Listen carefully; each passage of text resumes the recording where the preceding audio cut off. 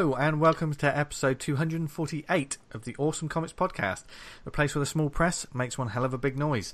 I'm Vince Hunt, artist of the Monster Spotters Club, and joining me this Yes. week, and joining me this week are the creator of Vanguard, Dan Butcher, Hello. and the third wheel to our tricycle of doom, Mr. Tony Esmond. Hello. The tricycle of sex, not doom. Well, it's the same thing. Pot- potato, potato. Um, uh, welcome to the show, folks. Um, we're all in a fantastic mood. We've been reading a lot of Oh. comics.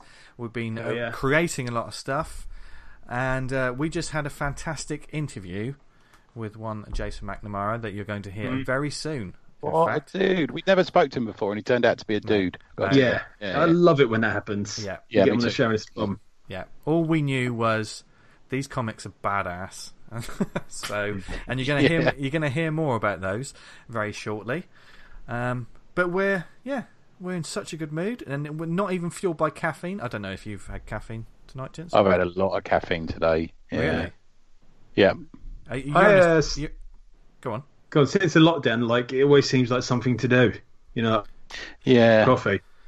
It's, uh, I've, I've had a lot of coffee today. That's not the way to live your life, gents. I built some bookshelves this week. That's Yeah. That's how great. bad it's been. Yeah, yeah, Well, no, you built some bookshelves for the next level of your giant fucking tomb you're building for yourself. That is your comic book library.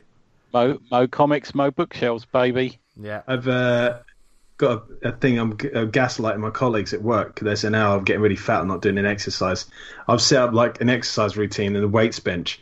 I'm doing weights in the morning, weights in the evening. I'm going to be eating all the proper stuff. I'm going to come back like a fucking tank. Three months of this hardcore training at home. Well, there's gonna there's gonna be a lot of people who will have done a lot of wanking, don't they? Do you know what I mean? Yeah. Yeah. Got to be done. And uh, we hope you lovely listeners are staying safe and healthy as well. So, yes. Yeah, how are you getting through it? I'll tell you how we, we're getting, getting through it. We're reading comics on Comichaus, but also we're doing our draw off competition, which Look, Dan, come why back are you murdering? You like you, you've set up. You've set up. I thought, Jesus Christ, the boys He done was off well. and running. I thought. I I saw, thought. I saw us taking that turn, and I thought, well, that's too pro. No. Yank wheel. I, I thought this is smooth. This is amazing. This is Dan Butcher Yeah. at his finest. And then you went and ruined it. I handbrake it back round. Yeah, so we've been spending our time uh, checking out comics on Comichaus.com. yes, yeah, because they are our sponsor. They are the indie comic marketplace with a difference. They are UK based, but there there's comics from all over the world on there. There's a huge selection of titles on the Comichaus website itself. Uh, if you self publish, you can list your book on there for free. Start selling straight away. It's like another sh- comic shop front. And what we talk about every week and we love and we, we check out is the Comichaus app. Seriously, folks and small press creators, digital comics are now more prevalent than ever right now, and Comichaus is a great way to get hold of them. Um, it's basically like Netflix for comics. Subscription service, only £3 a month, which is cheap as chips. Absolutely. You know, the amount of comics you get for that is ridiculous. Fucking loads. Yeah, there's an enormous library of digital indie comics, and they're adding stuff all the time. What stuff have they got there on the moment, Dan? We've got uh, Untethered issue three, Blender volume one, Trujillo, uh, by uh, we've got Don't Judge Me by uh, Alan Henderson, the Penguins Yeah. again, Last Arrival issue two, Lima again by Gustavo. Uh, there's a ton of it. Also on uh, the Comichaus page right now, interview with uh, Daryl Thorpe. Oh, is there? So, Oh, yeah. I didn't know that. I'll have a look at that. Okay. Yes. Does Gary do them? Does Gary Watson do them? The Gasman. He does, he does indeed. Yeah. Yeah. Gary Watson from Comics Anonymous. Um, Yes, and just to show the power of Comichaus, we talked about New York City Gallows on last week's show, and it went to Yeah. the top of the Comichaus top 10. It did, didn't it? Yeah, and the one that's in the reading Yeah. group, which is the shark one. I forget the name of it now. Bruce. Bruce. That's it. That's like number three or something, isn't it? Yes. Uh, Yes. That reading group certainly has a lot of power to boost stuff up. Yeah. Yep. So, Says seri- uh, Dan Vanguard, it, number three. I mean, I mean, seriously, you know, if you're a small press creator, if you maybe you've got like a just a comic just on your hard drive somewhere, um, you know, just collecting Pop dust. there. Put it on there because people will be checking it out, and you know, you will get some uh, some coins for your purse. Yeah. If you want to be a part of the um, the drawing group, the reading group, Ian Loxham organises it once a week. He puts a book up, and we all comment on it yeah, uh, on the uh, Facebook page. It's good. It's good to do. I, I did my my little reply today. yeah. I've uh, read Bruce again because I think I read when it first put on there, and I've yet to put my thoughts up, but shouldn't Yeah. take too long. Yeah, and we'll, Okay. we will let you know where the, the group is at the end of the show when we do all, all of those Yeah. links and stuff. Um, but you know, in in these times, the comics community is really coming together, and Comichaus it's a perfect place for them to go. So go to comichaus.com. Um, there's a 14 day free trial, and no, actually, they, didn't they have an offer as well? Yeah, can I? Uh, Go for it. There's an, another further month free using Oh. code Stay Safe. Yep. There you go. So there you go. Go go and read lo- lots of comics. They will, you know, just help you in every way, shape, and form because comics always do, and and also, you know, they they support the show. Yeah. So, God, God Don't help- go down the park having a fucking barbecue or on the yeah, beach. Yeah. Don't- comics Yeah. I mean, we're like a comics people. and T. Yeah. I mean, well done, Dan. Um, Thank you. I mean, we're comics people. What on earth are we doing going outside anyway? Uh, You got this. You're losing out. I've read like 20 comics today.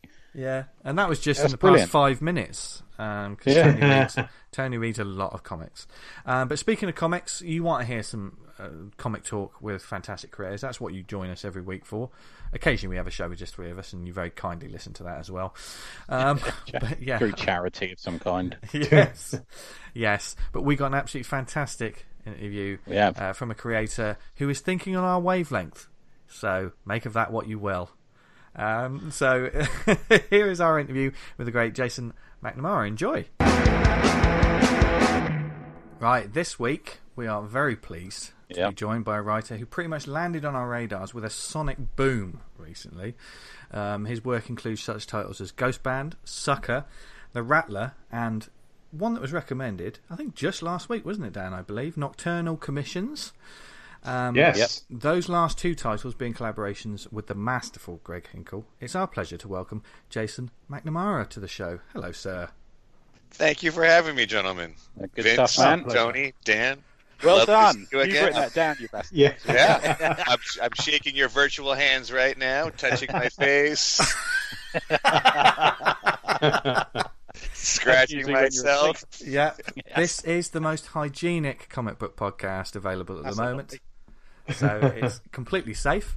And uh, yes, thank you for joining us this week, Jason. Because um, literally, as as I said in that intro, we've all kind of um, discovered your work recently, and it just struck a chord with all of Oh, us. thank God, yeah. Um, and I, I discovered it last year. I'd like to point that out. I uh, well, you discover last year. everything before everyone else, Tony. That's kind of what you do, isn't it? Which what, what did you read first, then, Tony? Uh, Sucker issue one. Yeah, Ah, May yes. last year. Yeah. Yes.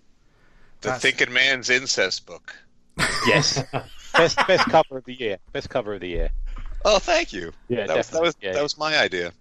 Oh, was it the boobs? Yeah. nice. The boobs. Yeah, I invented Boobs. boobs. Boobs and rats. Always a great combination. Yeah. A lot of our listeners have just gone to the website to pre-order now. yeah. Put me on a list. Yeah. Tell you what, being on, I said it to you before. Being in isolation has really put paid to my wanking. I've got to tell you. Yeah. oh dear God. We're we're only two minutes into the the full interview. Although um, Thank you, we've We've we've read his comics. We know he doesn't mind. yes, I know. yeah, because they they really do uh, come from the dark side, um, which is Yeah. why we knew we had to get Jason on the show.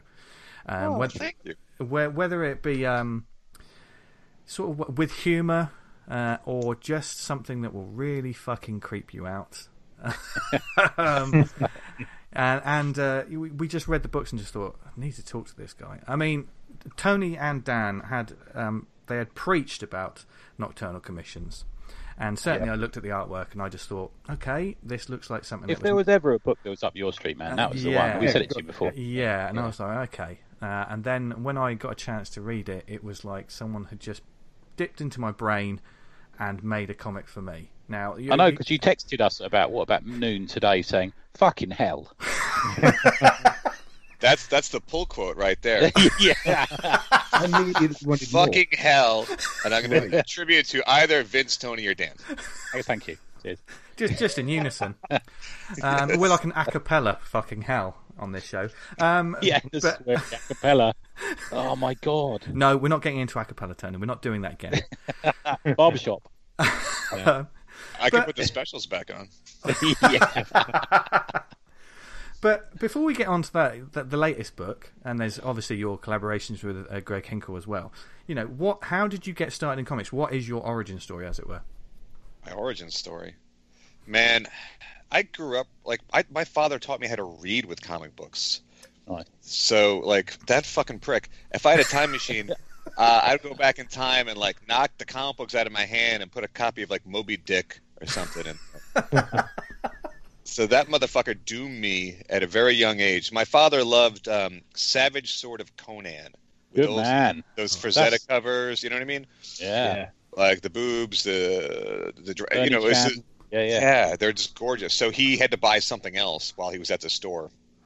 Uh, so he would buy me comic books and read them to me. So, you know, I knew like Spider-Man's thwip, the sound of his web shooter, like that was a word I knew how to say before Spot meets dog. Like it's just always been a part Uh-huh. of Yeah. um, my culture. So growing up, that was my thing. You know, I was the kid on the playground who would rather read comic books or books than play with other kids. You know, those fucking shit rats.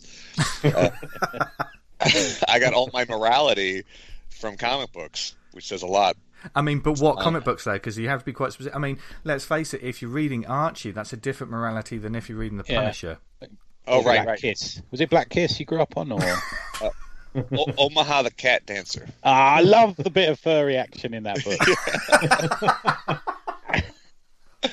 right. that's a great one. I don't think. That, have you read that, Vincent Dan? No. No, no. Oh, we're doing an episode on Omaha Yeah. the Cat Dancer one day, my friend. Yeah. It's it's hot. It, you too will want to d- double penetrate a cat. Oh my god! and that's that's the title of this week's episode. You too will see the benefits. Uh, so most uh, mostly Marvel comic books, Okay. but this, this was the '80s, uh, so there were a lot of um, black and white comic books coming to, to, to school. Some of my friends would be into Faust. I don't know if you remember Tim Vigil's Faust. Yeah. Yes. Oh, yeah. A very uh, very That was a lively first issue. Doesn't someone get crucified with their knob out on the? Yeah, yeah. Right. Yeah. So there was always somebody bringing a book like that to school that would show you there was more going on. Uh, I got uh, in early on the Teenage Mutant Ninja Turtles, but it was still a black and white book before the cartoons Yeah. and everything. yeah, Um, me too. I loved it back then. Actually, I really liked that sort of rawness to it. It's a real sort of undergroundy feel to it back then, wasn't there? Yeah. yeah, it was great. So I sort of always saw storytelling and I saw the world in that in that format. You know, so if I had like a really if I had a heartbreak or something or another heartbreak or uh, a heartbreak, you would put it in the you would you know transition it into like comic book panel. Like how would John Romita Jr. illustrate this? You started seeing Yeah. the world as a comic book. Yeah. Uh, No, when I- completely. when I graduated high school, I worked at a comic book store called Paper Moon Two uh, on Larkfield Road in on Long Island in New York. It was a dump. I was about to say, does it still exist? But it doesn't sound like it. No, no. They sold it to some guy named Vinny, and he had a partner, another guy named Vinny, and the two Vinnies drove it into the ground. So uh, yeah, if you see two guys named Vinny, run. I'm Vince for anyone that who he is. uh, Yeah. wonders. No You said Italian connection. Yeah. But uh, it always stayed in my mind that I loved comic books, and I was always uh, writing, you know, creatively. I always thought I'd be a filmmaker too, so that sort of that language of film, the visual language of film, always appealed to me. Hmm. And then, uh, you know, I I grew up a little bit, and I, I became a drunk, uh, fall down drunk, and uh, you know, I married one lady, and that didn't work out. And then I was a heartbroken drunk, and I moved to San Francisco, and I was living um, in this big apartment building. It used to be a converted YMCA. And you would walk down the halls, and you would just hear the sounds of lonely, heartbroken men, and the sounds they make in their apartments. You know, uh, and it was around this time where I was like, ah, yeah, I'll probably just drink myself to death. When I met um, Tony Talbert, the illustrator from Sucker, okay. Oh, I. I was in a, yeah. Uh, he, I knew him. We worked at the same company, but we didn't really interact much. We worked at the same coffee chain, and I went into a bar, and he's in there, and he's just talking about Wally Wood, like screaming about Wally Wood, about Wally Wood's costume design and all this stuff. And you think, like, who does that? You don't normally walk into a bar and hear some guy scream No. about how misunderstood Wally Wood is, right? uh, so that warmed him to me, and uh, you know, so we both uh, we, we both had a big affection for Steve Ditko, uh, and we just hit it off. And he he went out of town for something. It was around 9/11. He was going out of town, and he's like, "Hey, will you come over and feed my cats?" I was like, "Sure, I can do that for you." So I went to his apartment. He was out of town, and his apartment was disgusting. like he was a bachelor. He lived alone, and I mean like, you know, like condoms stuck in the carpet. Disgusting. Oh, Jeez. Yeah, and I love the guy. He won't mind me telling you and your thousands of listeners this. But uh, his, so I'm like, fuck it, I'm gonna clean this guy's apartment. That's what I can do for him, you know. So I bought him like a shower curtain, which he didn't have, and did some laundry. And I found on top of his refrigerator, uh, beneath a couple of boxes of wine, I found this like 70 page samurai epic that he had penciled, inked, and colored. And I sat there and I read it, and he didn't finish it. Like he got like seven, you know, it was like a hundred page thing. He got like 70 pages into it and just petered out. And he came back, and I was like, "Hey, dude, I, I found this thing. You draw comic books? I had no idea. It's gorgeous." He's like, "Yeah, I got like 70 pages into it. I just got tired. I didn't want to finish it." And that broke my heart. You know, that this mm-hmm. guy had all the talent, but he just didn't. He needed like a manager. Do you know what I mean? Like he needed somebody to be like make a plan for him, and he was just Yeah. making it up as he went along. And so I was like, "Well, what if I drew something for, or wrote something for you? We could do something together." Uh, and that sort of like got me out of the bars for at least a couple nights a week, and that got him, you know, a focus and a direction to move in. So we did a book called Less Than Hero about Okay. the sort of the gentrification of San Francisco in 2004. There was this hero called the Punk who had a brain injury, and he would fight. Oh boy, he it was just a it was a book we probably could not reprint today in today's climate. but uh, you know, the the big gag was a guy's colostomy bag would come loose and spray shit everywhere, and you know, he the the punk could only get his brain hemorrhage under control if he smoked a bunch of meth, and you know, he would take a, a break in the middle of a fight and take a shit on the street. It's just sort of autobiographical. Was yeah, it, or- yeah. It really was, but. Uh, yeah. but he and I, so Tony and I, pretty much realized that we could do this, uh, and that we didn't have to. We just didn't have any direction. We, you ever meet creative people that aren't actualizing their talent? They're really Yeah. frustrated, right? They just don't know what to do. So, anytime I meet someone now who's frustrated, as a creative person, I'm like they're just not doing something. Mhm. Uh, we all need an outlet to stay sane, right? I, I sort of envy people that are in a union, like a, a refrigerator repairman or a garbage man or something. Like you know what you're doing every day, but when you're a creative person, you have to invent the world from scratch every day, and it can be mercurial, right? It can make you fucking batshit. Yeah. yeah. Right. Like Okay. I, I don't have a factory to go to. I'm not making like divots. Uh, I would be a relief if I could some days. I would know what I'm doing every day. Yeah. Uh, so my origin story is uh, I was raised on comic books, became a you know a, a drunk. I met Tony, and he and I sort of picked each other up, dusted each other off, and started making comic books together. So I've been collaborating with Tony since 2002. Okay.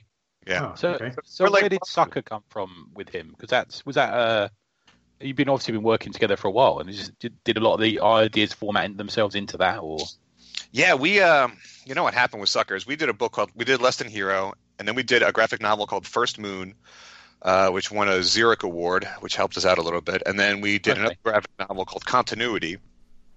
Uh, and then so we that we did three books like back to back to back, and then we we started Sucker like in 2007, and we just got burned out on each other. We we did the classic mistake. We moved in together in the same flat. right? Uh, Uh, so then we just became like domestic partners. You know, it was it was we were like arguing over who ate who's peanut butter. And once you're living with somebody, you know what it's like. You stop fucking, right? You move in with someone, and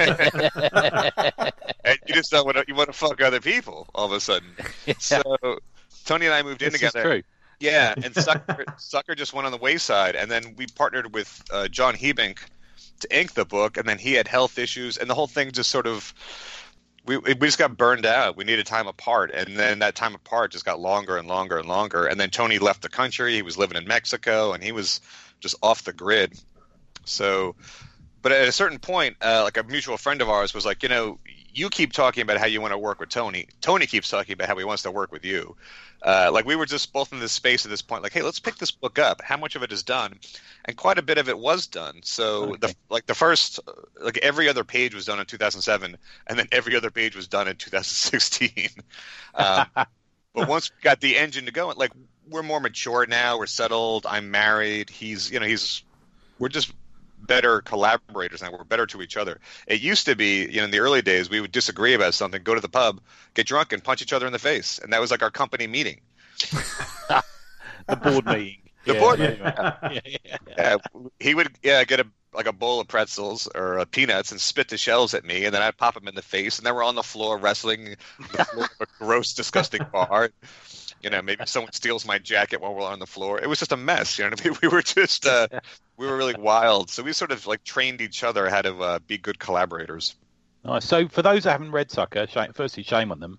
But did you want to just give a little bit of? So, it's two issues so far, is it? Do you want to give a little overview of it? Sure. Sucker is about the last vampire and his war against the pharmaceutical industry that wants to capture him uh, and create, put immortality in a pill. Right? Okay. So, tonally wise, it's um, it's a sort of Disgusting. yeah, biker gang feel, you know, sort of thing to it, isn't it? It's uh, um, it's a, it's an R. Uh, what would you call it? An R-rated comic out, I suppose. I would say, there. yeah. yeah. Maybe I'm not doing a good job of describing it. It is a grindhouse vampire. Yeah. epic. Yeah. Uh, this takes place great. It takes place in a world after the existence of vampires has been exposed and vampires have been hunted to near extinction and they thought they got them all uh, but they missed one. They missed this one perverted guy uh, from the 70s this one sister fucker. See he comes out of hibernation uh, he discovers he now has the power of all the previous vampires. He's not just one vampire now. So i wanted to play with the idea that you know when there's like a community and they get whittled down. And then there's just two people that speak this rare native language. And when they go that language goes with them right? So i Yeah, want to yeah. do that with vampirism that it is this sort of collective energy and it has now been distilled to one evil motherfucker. So in trying to wipe out vampires they've actually made like the worst one. They've siphoned all that evil into one vessel. Um, and he's a pervert. And everyone in it is awful. It's an awful gross disgusting world uh, and it's hard to know who to root for but it is also gleefully fun yeah, there's some great there's some great dialogue. One of my favourites in the second issue was I haven't I need another drink. I haven't had enough to drive yet. Stuff it's just that's fairly typical of a lot of the dialogue in it, which I think is really good. Yeah, to hear. Uh, yeah, it, you know, life is absurd, and this this is a book like the tone. You're either going to go with the tone of this or you're not. But I don't want to do another self-serious vampire book. Yeah. You know, like that Anne Rice horse shit. Like, That's exactly what I was just about to say. Yeah, yeah, If- we're past that, aren't we? We're Yeah, past the advice. if you're going to yeah. sell your soul for immortality, there has to be a cost to that. So these dashing, you know, um, morally conflicted vampires, it's dull. It's dull as shit. Yeah. Mm. So we don't Yeah, want to goth do it. is over, my friend. Yeah. You know, We don't. Yeah. Jason, humor wise, Bela Lugosi is still dead. where, where do you kind of like the, the humor in your books? Like, there's a lot of comics we read, and it, the humor just falls absolutely flat. But you've got you've got it. Uh, where does that come from? Well, it falls. Humor is really subjective, right? So that humor Hmm. that you say is falling flat, uh, Hmm. there's some boring motherfucker out there who loves it, right? yeah, you guys are sure. dark. You guys are dark. Like there is a, a dark sense of humor that's really hard to land. But if you're true to yourself, I'm not trying. This is me all the time. This is my sense of humor. Mm. I'm not trying to cast a wide net, right? They say Hmm. comics are for everybody, but not every comic is for everybody. You know, this is not a book that I can give to my students. I teach a couple nights a week, and uh, I'm not giving them sucker because I want to stay employed. Right. Yeah, yeah. Yeah, no, I get you. Yeah, Yeah. I mean, Uh, it is, but it, but it is seedy, and it is sort of it's a book you don't see anymore. This really has like an '80s sort of flavor to it, Yeah. where we weren't concerned about how it's going to trend on Twitter. You know, the book doesn't sell well enough for people to be outraged, to even know to be upset about it. So um, with that, Yeah. it, does that give you a certain amount of freedom in that sense? Though you know, you can really take the seatbelt off and just think, "Well, fuck it, we're going to do whatever we want to do." You know. No one gives no one gives a fuck about me, and you're right. That is very freeing. yeah, I've got to tell you, Jason, we've all we've all recently done comics that are pretty close to the edge, and the only way we got away with it is because not many people read them. we, we're still sort of expecting the backlash to come, and it still hasn't come yet. We're a bit disappointed, you know. There's a bit of that going on, I think, with comics Yeah. these days. No one cares if we're alive or dead. Yay, we're free. It's quite liberating though to tell those stories. You know what I mean? Just kind of like this is what I this is the stories I want to tell, and here it Yes. is. If This you is don't it. like it, So, and Fuck I'm off. not trying to. I'm not trying to be outrageous. I don't No. think. I don't think I'm coming from a bad place, right? There's the idea of like, um, I'm not punching down on any single person. I'm not saying Nah. let's make fun of the in horror movies, especially, right? You can tell the author's intent. You can tell if they don't like a certain segment of the community. You can tell if they don't have a high opinion of women. Um, we're sort of taking the piss on everybody and everything. Yeah. So there is a there is a theme to the book uh, about the commodification of you know pharmaceuticals and human lives and the cost of that but we don't we're, it's not a preachy book you No. know it's, it's the basis to have a conversation and have a lot of fun Hmm. Uh, and it's just uh, you don't see books like this and it's the type of book i always do books that i want to pick up off the shelf and discover and go holy shit how'd this get made Yeah. Yeah, You'll And got that- write something you find fun, haven't you? There's always Yeah. a way. Yeah. Yeah. And there, there's ultimately i might be the only motherfucker reading it so i better love it well, there's definitely going to be a few people reading it after this. I mean, Yeah. there's there's certain pages when you say you pick up a book and you look through it, you've always got to have that. There's always that one moment during a, a like a flick through, whether it be a, a book from the shelf or a PDF or something. There's always going to be one moment where you go, "Hold on, hold on, I know exactly what we're getting here." Um, and Sucker definitely has that, uh, especially when it comes to, and this is one of the most important things in horror, the deaths. Now, there, there's a few deaths that really, um, I was like, shit, they they go here. I, I'm in. Um, one of them is a beautiful um, double page splash of someone uh, just getting their face absolutely annihilated, which was gorgeous. And oh ano- yeah sucker too yeah. yeah, and uh, and another one, um, which was also from Sucker Two, fairly fairly um, soon on, was um, how do I describe it, gents? as delicately as possible yeah, um, it's a death that you um, it's it's not glorified, it's not right in your face like some um, sort of lesser or cheaper books would do, but the intent is there and it's impactful. You don't one of the classic things you don't see anything gruesome, but the impact is felt from that Yes. murder. Oh you're talking about when we eat the baby That's the one. yeah. That's the one. The oh, baby it's just a that. baby it's just a baby yeah. We've we've got um, a political party over here called the Tories, and they do that anyway most weeks. so I think it's quite, quite acceptable here. Here's the Yeah. thing: that baby could have grown up to be like the next Hitler. You know what I mean? Like you don't know. Okay, Yeah. so, so basically, as long as you put um, baby Hitlers in your books, you can just eat as many as you want. Listen, I don't think I think that's too high a line. I think you need to say something like Adam Sandler, someone like that. Do you know what I mean? I'm not. Yeah, that's true. doesn't have to Yeah. be It could have been the So, next Ben Affleck. There you go. Gotta wipe them out when they're young. Yeah, the baby thing. Honestly, I haven't heard a, a single gripe about us eating a baby. Now, here's the thing about eating babies: they taste like chicken.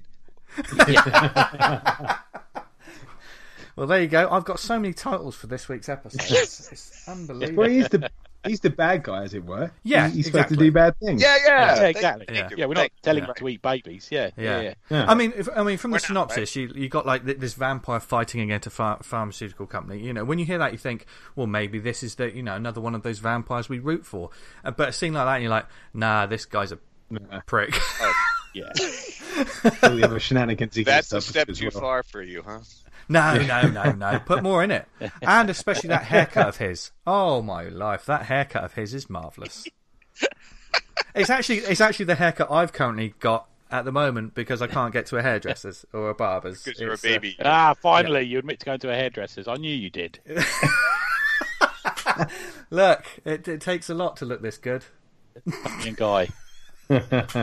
The um, and I just slightly moving on. I noticed in Sucker One, one of the pin-ups was done by Greg Hinkle. Was he Yeah. a mate of yours already? Was he, Jason? Or Was he was he mine already? was he a mate of yours? Was he a friend of yours? Oh already? yeah, yeah. Yeah. So we had done the Rattler at that point already. I met Greg Oh, probably okay. 2010. We were both living in San Francisco, and we were both working the door for the. I don't know if you know the Isotope Comic Lounge in San Francisco. Oh It's no. I do. Yeah. yeah. It's a comic book shop in San Francisco, and they throw big events. Um, so, but they need uh, you know they need a doorman. So Greg and I would uh, take turns working the door. We met, and he was going to the Academy of Art at that point, and we did a. Uh, we worked on an anthology together, and I wrote a short piece for him about uh, all these baby pieces that come together in the sewer and form a giant fetus aborted baby thing. That I think we need to get a psychologist on the line. I'm going to tell you, I've got someone I think. it was called Baby Talk. Uh, I, you know, I can send you a PDF of it, but it's one of those Please do. stories that will probably let go out of print. But we had a great time working on it. Uh, so then we started working on Sucker. I'm sorry, the Rattler. And again, like he he graduated school, and I think he just didn't really. He had a professional style, but he didn't have a professional pace yet. He took on too much work, and it looked like we weren't going to do the book. Uh, and then by 2015, he had sort of uh, gotten it together. He had gotten his practice together and was like, you know, is now working at a professional pace. He he had gotten out of school and agreed to do too much work. Yeah. And you, this nothing happens, right? You say yes when you're a freelancer. You always say yes to work because you never know. Yeah. Yeah. Uh, but with an illustrator, you have to be a little bit more um, tactical on what you take on because there's only so much time. A writer can work on multiple things, but an illustrator can't. It's easy being a writer, isn't Yeah. it? It's easy. Oh my god! Yeah. yeah. So I mean, rupees.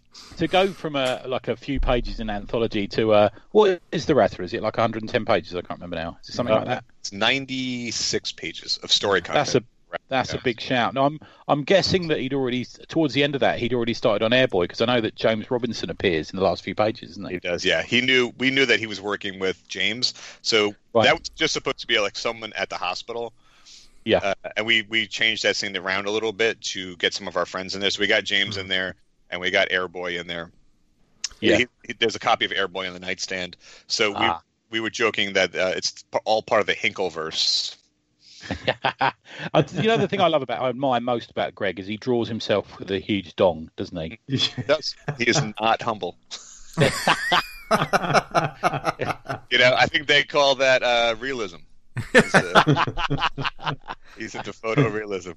What I- So was that was that something you worked up together, the Rattler? Because it, mate, it's, we absolutely loved that book. We both, me and Vince, both read it today, and um, as as a long as a long book, I didn't look up, and it's got a lot of twists and turns in it. It's it's a it's a hell of a work. Thank you. It's it's probably Yeah. my favorite thing that we've done. Yeah, It's Because uh, of that- It's so the the twists. When you say twists in, in a book, sometimes you can see them coming a mile off. Um, no, I didn't have a clue about that one. The main yeah, one didn't. Have, yeah, the Yeah. main one, and we're going to try and talk yet about this without spoiling this, any. so- Dan hasn't read it yet, even though No. he's, he's got it lined up to read next. but um, there are moments in this book that you can't telegraph. Um, it's a wonderful character piece. It's also very, very dark. Still got a sense of humour Yeah. to it. Um, and the thing that fascinated me about it, because I, I bought the collection on Comixology and then just basically just rinsed through it in one go. yeah, and then yeah, the the text piece at the end because it's it says it's sort of based on a true story and when I read the page of what it's actually sort of based on that kind of creeped me out more than the book itself um do you want to just because it's essentially a scene that you see towards the you know inspired one of the early scenes of the book yeah. This is Sure. the opening, isn't it? Yeah, yeah yeah. so so do you want to talk a little bit about that because it fascinated me and also terrified me Yeah, it's one of those things. It, it, it- well, let me back it up for Dan. So probably like uh, it was years ago. It was probably like around. Uh, I think it was after 9-11. So it was, must have been like around Christmas 2001. Uh, a friend of mine, her uh, her name's Stephanie. She and I went on a road trip Christmas Eve. Her girlfriend was out of town, and uh, you know I was just in my heavy drunk phase. So I was alone in my sad little building, and we went on a road trip, and we ran out of gas on a little Ouch. country road. the The gas meter didn't work. The and it was like uphill, and uh, you know I'm not great with details. I don't remember where the town was. I just talked to Stephanie the other day. We're still good friends, but um, so it was it was nighttime, dark windy road. Uh, you know, sort of more of a rural part of California. So we pushed the car to the side of the road because we didn't want to get hit by another car coming around the corner. And then we thought, well, where do we go? What do we do? Like there was a restaurant that we had eaten at a couple, uh, you know, not long before, maybe a half hour before. We thought we could walk back to the restaurant, or do we wait for a car to pass? It's Christmas Eve. I'm not expecting, you know, a lot of traffic out here. And a truck goes by and it stops. And this guy gets out, and it's a pretty sturdy truck. And he's looking at me and my very skinny jeans, and my nails were painted black. I was going through my own goth phase at the time. you know, uh, I look like, uh, you know, I look like a hustler, really. And but I was probably like 130 pounds, you know, really skinny. And uh, he's looking at me in the car and her, and he's like, "Well, you guys have really gotten yourselves into it." And you know, I never thought to ask his name. I never. We were so grateful that someone had stopped to help us that, in hindsight, we let a lot of red flags pass. Mm. Right. But uh, anyway, so he was like, "Okay, there's a filling station not far from here that I can I can tow you to where you can get gas." And we're like, "Oh, thank God, you're our savior." You know, we thought we were going to spend Christmas on the side of the road in a car. He's like, "But you sort of wedged in the side of the road here. What I'm going to do is I have a chain, or I'm sorry, I have a rope in the back of my car. I can tie the rope from my truck to your bumper and pull you out of the out of the ditch that you're in. But you'll need to push, right?" Which should have been the first red flag because at 130 pounds I couldn't push. You know, uh, I, I, I'm not like you know physically intimidating. So I'm behind the car. So he's like, okay, you push the car, and Stephanie, you steer the car out of the ditch, and then I'll, I'll get you out of the ditch, and then I'll stop. We'll get everybody in the car, and I'll I'll take you to the filling station. Oh, thank God! You know what I mean. Someone's taking control of this. I wasn't going to Yeah. do it. She wasn't going to do it. So I'm behind the car, and I'm pushing, uh, uh, pushing my whole weight. You know what I mean? Like, like pushing, really pushing my bony little ass into it. Uh, and he, you know, he pulls the car out of the ditch, and then he hits the gas and just starts taking off. And then I'm standing there in the road looking at my friend being abducted, and I think, oh, well, I just walked right into that, didn't I? This guy was just going to take off with my friend in the car. So she's honking and, like, you know, um, uh, like, you know, steering the wheel to the left and the right, and he's just taking off with her. And I'm, you know, doing my best to run up the hill. Mm. Uh, but like I said, you know, I was 130 pound drunk. What the fuck am I going to do? So she was actually smarter than all of us. She pulled the emergency brake and the rope snapped. Uh, Right. So she then rolls back a little bit, gets out of the car, and runs towards me. Uh, and we like run to the side of the road, and we're like, gonna just take off. And we're sort of crouching behind a you know some shrubbery, looking at him. Uh, so he stopped the truck up the hill, got out, and stared at us for a while, and then got back in his car and drove away. Yeah. Fuck. Yeah, Are you, um, are you and him now a couple, or is this? Oh, Uh, him and I. Yeah. yeah, yeah. Well, I paid good money for that. So uh, we were like, so we we stayed back there for a bit, and then we're like, fuck it, we're gonna go back to the restaurant we were at before. So we Hmm, we, we right. run down we run down the hill. We get back to this town. This little it was like a little pub bar and a hotel that we had dinner at. And we walked in, and sure enough, there's like two sheriff's deputies uh, having dinner. And we're like, oh my god, this guy, and he did this, and blah, blah, blah. and they were like, yeah, that's great, kids. Uh, you know, they, they looked at me, and I look like, you know, I look like an ass hooker from the city. So they're like, just sit down and relax, and we'll take you to get some gas in a minute, right? So they finished their meal, and then they drove us to like their gas station. Like the cops had their own gas station, so they got like a little thing of gas, came back, filled us up, and said, you know, don't come back to wherever we are. Pretty Oh much. God. They didn't give a shit. Jesus. Yeah. And uh, yeah, so we went back that night, and I had the worst food poisoning of my life from that place. So that we ate. So I'm on the floor of this bathroom, just puking and shitting my guts out, and I kept thinking like, okay, who drives around with all that rope in the back of their car, in the back of their truck? Yeah. But what if he had a Oh. chain and not a rope? You know, I didn't want to say that to my friend, but like, if he had a chain, she'd be Yeah. gone. Yeah. Yeah. And you know, w- I was young at the time, and it was just one of those. You're going through uh, every every weekend. You do something wild and crazy, and it was like a story we told people. Like, isn't that crazy that happened? Yeah. And you know, it's one of those things you just push out of your brain. yeah. So Yeah. many many years later, she uh, she and her wife and her son, uh, who's a redhead, and I'm a redhead, and she's a redhead. Uh, and everybody thinks I was the donor. I was not. They didn't answer. get that on here. Get on. Yeah, Yeah. Get it on record. Yeah. they, they didn't want mine. Uh, but um, so they came to visit, and I'm playing with her kid, and my wife's meeting her kid, and we're all eating this dinner and laughing. And I'm looking at her. I'm like, "Do you remember that thing that happened like 10 years ago? And she's like, Yeah. I sometimes think about how fucking crazy that was. Yeah. And I was like, Yeah, I think about it sometimes too. But I realized how I would think about it. And this is really like what made the story. Like at that point, I didn't have the idea for the book. But I kept thinking, like, what would it do to me? Like, who would I have been over those 10 years if I had to watch her? Because I was standing on the road as someone Yeah. drove away with my friend. And I was like, oh, fuck. And luckily, we got her back and everything was okay. Yeah. But what if we didn't? So I kept thinking, like, what would it do to me? What would my career have been like? What would my life have been like? And then I realized, like, how selfish I was about it. I was thinking, me, me, me, me, me, not like what would have happened to her or her family. uh, I was totally like, oh yeah, that's that's the story. This guy who's trying to fix this event, but he's made it all about himself. Hmm. Uh, Yeah, Then I yeah. thought about like you know the emotional security of young guys and relationships and how Because he kind of Um, makes his whole business out of it. He makes a lot Yeah. of money out of it. He? Yeah. He does. So you know, you always ask your your characters, what happens if they get what they actually want? This guy is brokenhearted, and it's his business model to be brokenhearted. What if he could get her back? What would that do to him? Yeah. So that, that was the idea. Is like maybe he could actually get what he wants. Maybe he doesn't really want what he thinks he wants. See, if it Uh, was me, if it happened to me, I would definitely because I'm quite. I don't know if you know this, Jason, but I'm quite annoying. I would definitely be saying to my. I would definitely be saying to my friend, "How much did you pay that trucker to get you away from me?" Was I that annoying?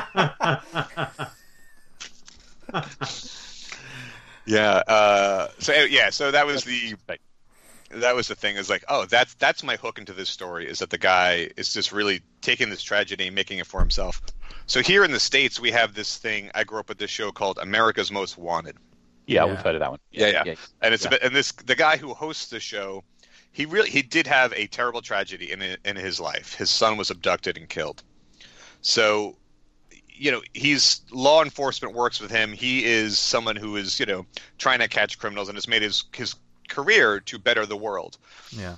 but at the time, if you went to his website and looked at the America's Most Wanted website, there was a lot of pictures of him like posing on a motorcycle in front of like a brick wall, as if he's actually going out there and throwing a net over people, Batman Hmm. style. Yeah. And I thought, like, also, like, how, where, where does the marketing end and reality begin? You know, like, Yeah. you, you, we all tell ourselves a story about who we are and what we do. And I thought, if this guy were to ever break bad, if the guy Greg Walsh, if he were ever to like start actually becoming a vigilante, I don't know that the cops would give a shit. Yeah. You know, like how much how much rope do we give certain people? So I, I wanted to play with that too, the sort of celebrityness of being like wounded that way. Yeah, I think what you're doing as well is what you've described around the um, the the abduction of the girl at the start is um, that's only the first 15, 20 pages of that book. It it really goes off on a number of sort of story. It launches itself off on a number of stories that are just brilliant, man. Because you have two strands. So you have him on a mission, and you have his assistant and her pal on a mission as well, don't you? Sort of two stranded, but they sort of they interlock so well. I have to say, yeah, no, really nicely, yeah. Because at one point, I remember there's a sort of switch and bait moment where you think he's going to a certain house. There's a knock at the door, and it's them at the door, and stuff like that. Very clever, man. Really good stuff. That was Yeah. very cinematic as well. That it, Yeah. the whole, the whole thing just felt like it, You walk your way through it. You Yeah. you live your way through it, which is always a, the sign of good fiction. I think is where you, you you you're feeling that walk to the door, and you're feeling that mm. knock on the door, and it's but it switch and baits you because it's something else when the door is opened. Very good. Yeah, really like it. Yeah. Uh, Well, you know, I do. Um, I try. I do model all the scripts after like the three act screenplay structure Right. Uh, okay. because I feel like that keeps things moving. Mm. They're Yeah. Like there's there's a Yeah. pace there's a pace to it, and with comic books there's a like a brevity of storytelling. You only have so many pages, right? You can't figure it out on the page. You need to figure it out on the script first, Okay. like the, the pacing. Yeah. Um, so yeah, every eight pages there's a cliffhanger in that book. Oh, okay. Yeah. Yeah. Interesting. Yeah, yeah. So Yeah. I mean, I mean, we read it as as a collection. Was it released as one collection, or was it single issues to begin with? So, you know, I, I hedged my bets, and we made if you that could break into four single issues, but was never released that way. Right. Oh wow. So I always sort of like the um the Walking Dead trades because they don't break it up with the cover; they Yeah, just I- I like blast right through. So you're never you don't know when to stop, and then you can't stop reading. Yeah. Right. So when I was in my big fandom of that, I would buy. I remember buying a collection and just sitting in my college classroom and just like couldn't put it down. Yeah. It doesn't let go, and that's what I wanted to do. I didn't want to, you know, horror is really horror in comic books and that feeling of dread is really hard to establish. So if you were to break that into four individual experiences, like you might be reading the Rattler issue three in between an issue with Superman and Spider Man. Yeah. Like if I can hold that, create that tone, and hold that tone, then I don't want to let you go. I want to hold you for as long as possible. And to have, Yeah, when, that's when an you think of that point. continuous storytelling as well, it it does it changes the way you write or you you um, figure out a page layout and stuff. If you want it to read continuously, because with with a lot of comics as well, when you pick up like the first page uh, of like issue two, in some ways there's a recap of you know a, a very brief recap of where you know if you didn't read issue one. Um, But you, you've almost got, dare I say it, the Netflix model when it's a continuous story because you don't have to give everyone that recap. You can just keep you can keep the train rolling, can't you? On you know you don't Yeah. have to worry about like oh here's what happened in last issue. Here here we go. You can just keep rolling, and, and that's I think that that's why the Rattler uh, you know even though it's about hundred pages, we just absolutely breeze through it. Yeah. You know. And do, do you know what I like? The fact is, it starts as a black and white book and it ends up as a black and white and a red book. Oh, I'm which a, is I'm a sucker for that. I am an absolute Yeah. sucker for that. Yeah, that's all Greg. Yeah, Greg Yeah. is uh, a master of that. There are scenes where he's also really good. He doesn't get first of all that that he's even available to work with me tells you something's wrong with the comic book industry. I agree. Not that, not that, not that he's working with you, man. But I agree that he's a he's one. He's easily top ten artist for me at the moment. I've got to tell you, since yeah, since fantastic. Airboy, we fucking went nuts for Airboy. We loved it, man. So good. Yeah, So- yeah. He's really good. Yeah. So one of the Remember- things he does that I really really love is his facial grammar. If you look at the like the the physicality of his characters and like the emotional content of their faces, you can take almost all the dialogue out because then it becomes redundant and just let his story his physical storytelling um, breathe and move the story forward. He's such a good um, he's such a good actor with his characters. Does that There's a free very- you up with you your want- writing? Sorry, Tony. Does sorry? that free you up Sorry, with your write, writing though? Because when you have that sort of talent, you know that he's going to actually smash out on the pages. You have that confidence to not put so many words on the page. Just Mm-hmm. you know, you can just describe a couple of things. You know, how much description do you give him of panels and things like that? Not a lot. I give him like the emotional content of the panel. Uh, uh, so it's, it's less camera description, less like you know three quarter over the shoulder. Like he doesn't need that. He just needs to know the emotional content. Like this person is hearing the worst thing they've ever heard in their life, or like the last page of the Rattler, he's you know screaming out for a vo- hoping to hear a voice that he'll never hear again, and then he takes that emotionality uh, and puts it into the character. So.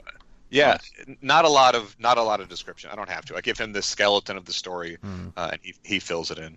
For those that haven't seen his work, I'd compare him to um, Tony Moore. I think it's about the nearest Yeah. um, artist I'd, I'd, I'd give him. Uh, he's a little bit different, but especially I noticed that in the Rattler more so than in the recent book.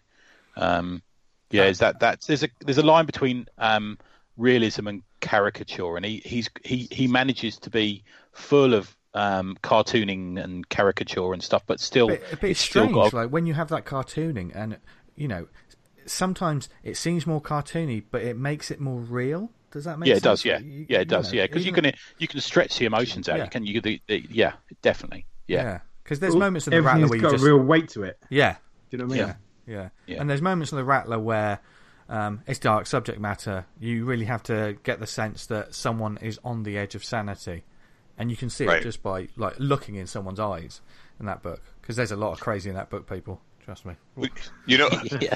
the other the other thing that we we did was that we tried to put the perspective in places that the human eye is not. So, like um like lo- extreme low angles looking up.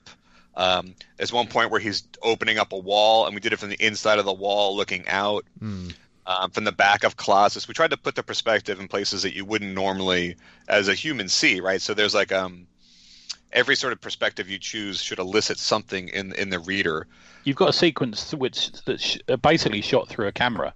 It's like them Yes. them watching a film of it later, which is very clever. Yeah. We did that because uh, it was it didn't fit earlier. Like when it happens in this story sequentially, Yeah. there was there was too much else going on, and we needed something to happen later. Um, Okay. Interesting. and also, I wanted to be like, how did he get out of the basement? Maybe you don't know, and then we do tell we fill that in later. Yeah, I got that Um, completely. Yeah, no, that, that was really nicely done. And also, one of my favourite pages is when that sort of redneck. Can you say redneck in America? I'm not sure. Oh, yeah. something? Yeah, fine. When you when the, when the redneck couple say, um, "Let's make a snuff video," and I'm like, "They're brilliant. That's like the best scene ever." That's your favourite scene, Tony. It is, yeah. And there's a bit of an extra. You added some scenes that you took out at the end where they go looking for what masks they're going to wear. Is that right? Yeah, Yeah. we had some. We cut some scenes out for pacing. I really wanted it to move really, really quick. I never wanted it to drag because if it drags, you're going to sort of question some of the logistics of it. Like, wait, he's doing what? They're do- why are they here? If you keep things really moving, then you're invested in the story. and You're not asking the mechanics of where they are, how they got there. But yeah, we had some extra scenes, and then Greg, you know, for extra stuff later, he drew them. Oh, cool. Nice one. Oh, but I wow. didn't want to. I didn't want to insert them because they were not. It's not the experience I wanted you to have. Cool. and then what was the book after that? Was it? Did you go straight into um, commissions, nocturnal commissions, or is it? Did you have books between that? Greg had books between that. He did the Rattler, and then he did Airboy, and then he did Black Cloud, which is a Yes. series not many Yeah. people. Um, I don't think a lot of people discovered that one, but it's gorgeous. Yeah, it is great. Yeah, oh yeah, I, I, read, I read some of it the other day. Funny enough. Yeah, Yeah. it's good stuff. I couldn't tell you what it's about, but it looks great. But you, you did. Um, was it? You've had a raft of books out in the last two years. You did shorthand about an eighty-year-old detective, didn't you? Which I have not. I have to admit to not having read, but You should Did read that- that came Shorthand's before great. Shorthand uh, was done a long time ago. That was done probably Right. 2011. okay. Um, but it, it was one of those books where that was the first time, or maybe the second time I quit comics. I did that book with uh, Rahsan Ekedal, and I thought this is the best thing I've ever done. Um, surely somebody will publish this. And we sent it around, and everyone thought it the material was too strange or too dark or too weird. Uh, it's about a twelve. It's about a twelve-year-old kid. Uh, I don't. It's got a. It's got a big twist to it, but Right. uh, it is about a um, a twelve-year-old detective who is prematurely aged. And right. uh, the the idea that I had was that, you know, we all sort of mythologize or mythologize like our past or our youth. Um, and here is a, a kid who was born old, and he's never going to have like this the youth. So he lives and identifies as an old man. He doesn't pretend to be a twelve year old with with progeria. He just walks around and acts like an eighty year old man, uh, and talks about like his great detective career that he had when he was younger. Uh, and then he gets out of the house and goes on an adventure and rekindles his detective career that he that he never actually had, and, and he goes undercover at an old folks' home, and hilarity ensues.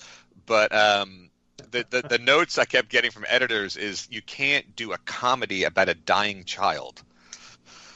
I, I mean, Watch me. you know, why why do people keep drawing these lines? Um, yeah. Gatekeepers. yeah. And here's the And- thing, like, like if, if Spider-Man was born in what 1945, like how old is Peter Parker really? You know, Yeah. he's an att- like I don't have to show the kid dying, but Yeah. the idea that we we all should be um, seen as how we want to be seen really is the, is the plot of it. He, if he wants to be an 80 year old man, uh, former detective, then we should allow him to be that, and people should be seen and met the way they want to be met. And if all the stories take place in the year 2005, then so be it. I don't I don't want to see a kid die on on page. That's not something I'm excited about. Yeah. As many as many babies are eaten in sucker, it's not like a big. That's not the hill I want to die on. But yeah, people. I I, th- I felt that it was a feel good story, Yeah. um, about owning one's story. But yeah, I mean, I, th- I, th- I think it just sounds, yeah, yeah. I mean, I don't understand. Strange when you hear when you read that, you know, you told us that synopsis. That just sounds sounds interesting. It sounds like something that a lot, of, certainly a lot of our listeners would want to read. Something different. Do you know what I Indeed, mean? yeah. Like you seeing seeing a kid die on screen. Have you seen the remake of Karate Kid? I've I'd have gone for it with that. Seeing it. uh, you know, I missed that cinematic masterpiece. Yeah. And he's and he's the kung fu kid. They didn't call it the karate kid, Tony. Come on. Oh, did they? Okay, No, sorry. no, no, no, they can't. No, no you, you, you, can't uh, make genius twice when it comes to that. um, but you know, going and we're talking about shorthand there, and it shows. You know, obviously we've we've made jokes about like how dark your stories are, and like you know how you like to step on the dark side. But there is there is a lightness of touch in there as well, and that that will bring us round to Nice. nocturnal commissions, because even though that is a world that's seemingly, you know, I- I'm guessing you have a love for the Universal monsters. Oh yes, yes, Yeah. sir, I do. Yeah, it is. It is positively dripping off of this comic book, um, and it's a gorgeous looking book. But the thing, one, I mean, normally in our WhatsApp group, the ACP WhatsApp group, we're sharing pages backwards and forwards. Oh, have you seen this? Have you seen this? When it came to this book, a lot of the time we were sharing dialogue. You know that we were Oh, yeah, talking. we're actually. Yeah, we were, Yeah, this is yeah. the Yeah. one where we were talking about. You know, this moment made us laugh because th- this is a book about monsters. Well, actually, take it away. Tell us what Nocturnal Commissions is. Um, you know, you guys will probably do a better job than I will, but um, I will say Nocturnal Commissions is it's the X Files meets the Monster Squad when a werewolf, a vampire, and a zombie open a detective agency. Fucking just, just That's it. sign everyone But up. the, the, the, the crux of that is that they're not they're not very good either. That's the good thing I like about it. Yeah. They're they're just like making it up as they go along. Um, that's that's the good thing about it to me. Yeah, they're not. It's it's not like a super action. joyride. Yeah, yeah. But aren't we all making it up as we go along? Mm, Too yeah. right, man. Yeah, true, yeah. true. And much like the the rest of the real world, um, you know, this team, as it were, is an exercise in putting up with the people that you're uh, have to work alongside because there is um Yeah. what I like you, you don't have to describe there, there is the shorthand that pardon the pun um that everyone has with you know vampires werewolves you know even zombies and things like that. Um and, and you play off that but you can already tell that there there's a world. You have your own sort of vampire logic. And you have your own werewolf logic. Um this is a book where one of the main guys is he's a, just a cool looking werewolf even though like his his sense of smell may be not as good as he thinks it is yeah, that's my fa- my favourite scene is when he tells Yeah, her what she had for breakfast. Yeah. That scene, I love that scene. Yeah. Um, but there's also there's other werewolves in it which look and feel very differently. So you know, before you, this is a fun, just sort of adventure comic, as it were, Yeah. um, with a Universal Monsters vibe. But you must have, you know, do you have like a sort of a world bible, as it were, for you know these monsters and creatures going forward? We do, and then we throw it out. We stay real loose because you don't know when you're doing. I wanted to keep it on an island. Most of this takes place on a single island, so I wanted to bring these characters together and let them play with each other. But they talk about a larger world. Yeah, Uh, and if there's a theme to this book, it's about fractured communities sort of coming together. And I wanted each of these guys to be an outsider in their own community. So uh, Bradford is an albino vampire, uh, which makes which probably makes him unique among other vampires. So he can actually go out during the day. Um, and we also wanted to play with the tropes that go with vampires, right? They're all hypersexual and dark and brooding, and he's not interested in any of that. no, He's he's very fussy. He's still in the same rent controlled apartment for 200 years. he's very well dressed though, an amazing. Yeah, he's suit. very well dressed. Yeah, he's So he's uh, basically he's basically English. Is that what you're saying? Uh, the model was Tim Gunn oh, okay. All right. from Okay. Project Runway. Yeah, to to make him, you know, we're so tired of like the vampires and leering at women and dark, wet neon streets and fangs. Like he, you know, some of the um, he doesn't have his fangs bared on the cover. I, we didn't want to be super obvious with him. Yeah, Yeah. Um, There's a there's, probably there's a visual sort of bit that I, I love that he obviously sometimes you see a slight morphing of of him into a more vampiric sort of state, but then he'll go back to being normal again. I know there's a Yeah, bit of a reveal later in the book, but um, you know it was something that I had to I had to double check some panels. It was like, does he look more monstrous there than he does? You know, just these little flashes flashes of the Yeah. monster underneath. Well, he's thirsty. Yeah, he can be a little thirsty. so yeah, uh, there is a world beyond here, absolutely. But we wanted to test the waters with this one in a sort of a controlled sort of pilot episode. Yeah, Um, but I definitely think there's a vampire community. I definitely think there's a werewolf community. Uh, I think there's mermaids. I think there's all any sort of thing that you can think of.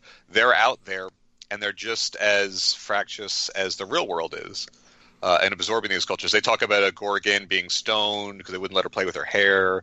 Uh, so I want to bring these guys together and then move them through a world that has to, you know, we all have to live alongside each other. yeah, okay. So yeah, so yeah, it has shifted a little bit. I wrote the second issue, and I thought maybe it was too self-contained, and there weren't, it wasn't enough of the world. Um, so there's a lot of places we could go from here, but again, like we would need either the, the Kickstarter and Indiegogo would have to do a lot better than it has, or a publisher would have to help us out. And with the current state of the world, I don't Mhm. really, I can't count on a publisher. And for yeah, some, and I think Kickstarter's in a funny place at the moment as well, It dude. I is, think um, people don't know whether to spend money, do they? They don't want to spend money with Kickstarter. You obviously pledge to something that the money gets taken out of your account so many days later. I think people are a bit wary of that at the moment. you know. Yeah.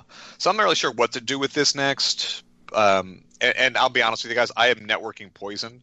I feel like I, I, I I've been producing uh, high quality work that's as, as high a quality as anything, an image or Dark Horse or Oni. Yeah, man.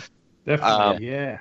But connecting it with a larger audience has always been uh, a struggle of mine. I don't know if it's me, if it's the work, if it's too weird.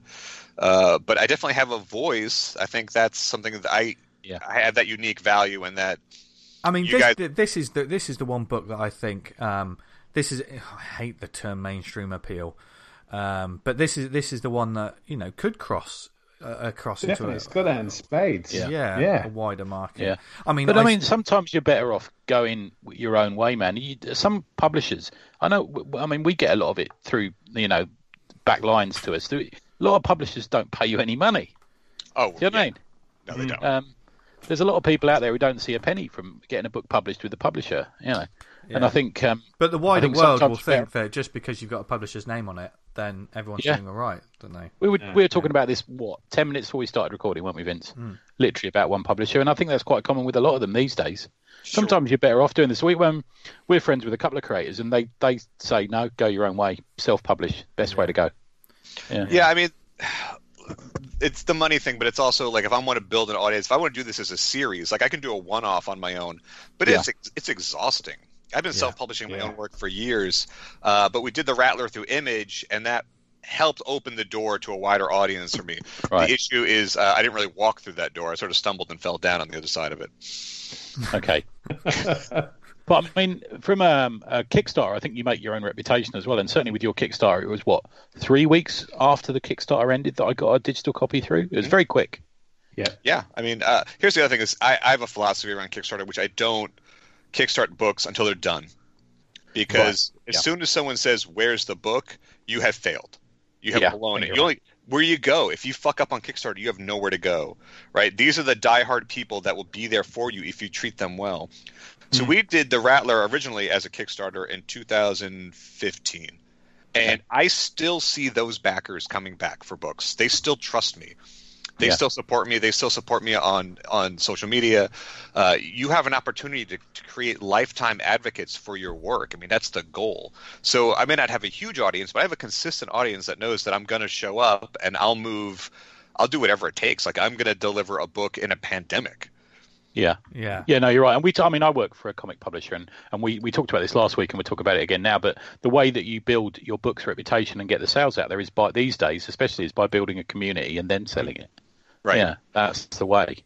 So uh, that's, that, that's what Kickstarter allows you to do, I think. Yeah. Mm. it's it's Yeah. it's as much of a marketing platform as it is a sales is. platform. Yeah. Pre-order platform. Yeah. Yeah, Yeah. I, I treat it like a pre-order platform, which is may, maybe not how Kickstarter wants you to think of it. But imagine if I had the idea for Nocturnal Commissions and we did the Kickstarter, and now Greg and I have to make the book in this current environment.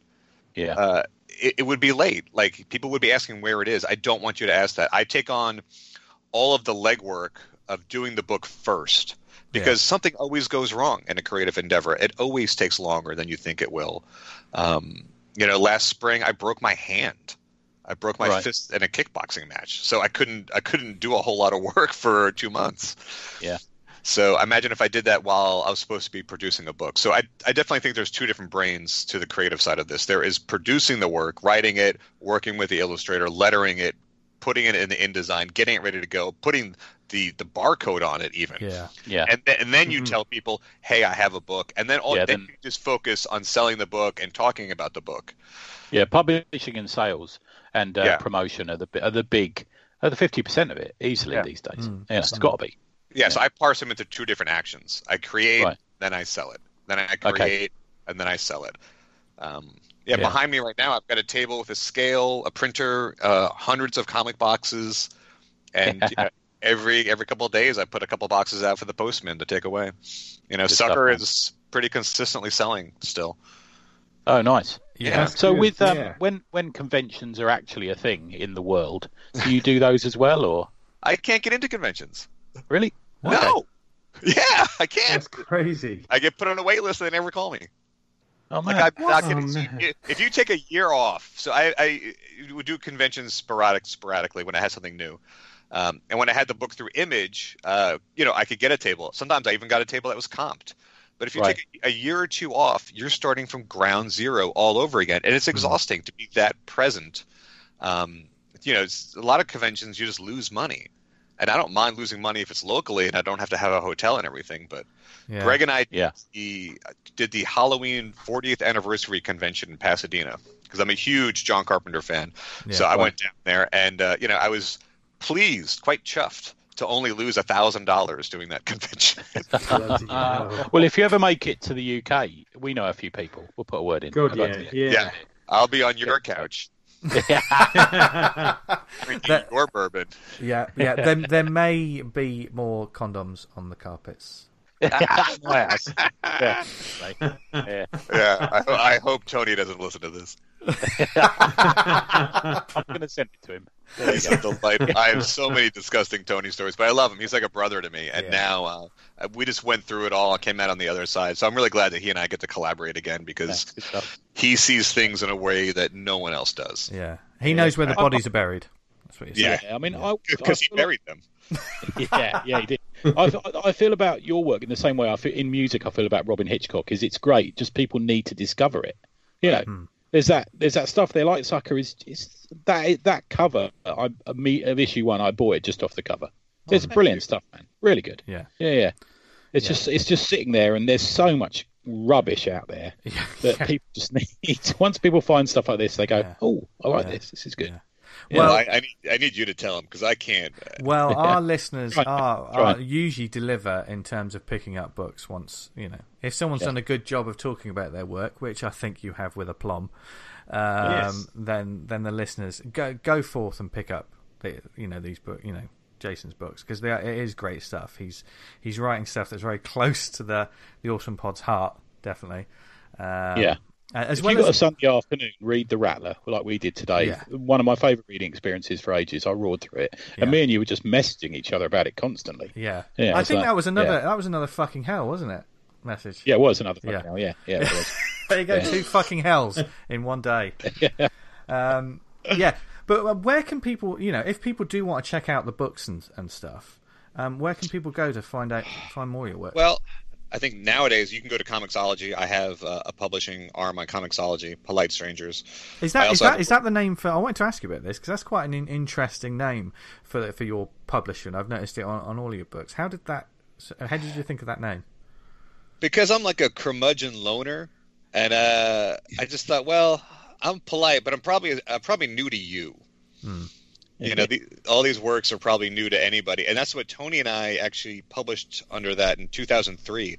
So when we did, we went through Diamond and we had Less Than Hero. I had to create a publishing company, so I created Les, uh, Polite Strangers, and then I sort of forgot about it for a while. And then a couple years ago, I actually made it a, a proper LLC, so we could lose money uh, and I could lose some. I could lose some of the bank's money instead of my money. Uh, so I started the LLC for that, and um, I don't know. It's just a term. I think it fits. It sounds like um, it sounds like a Ramones album from the '80s. yeah, yeah, You're clearly a Ramones fan because you're, uh, without giving anything away, your username is very Ramones centric, isn't it?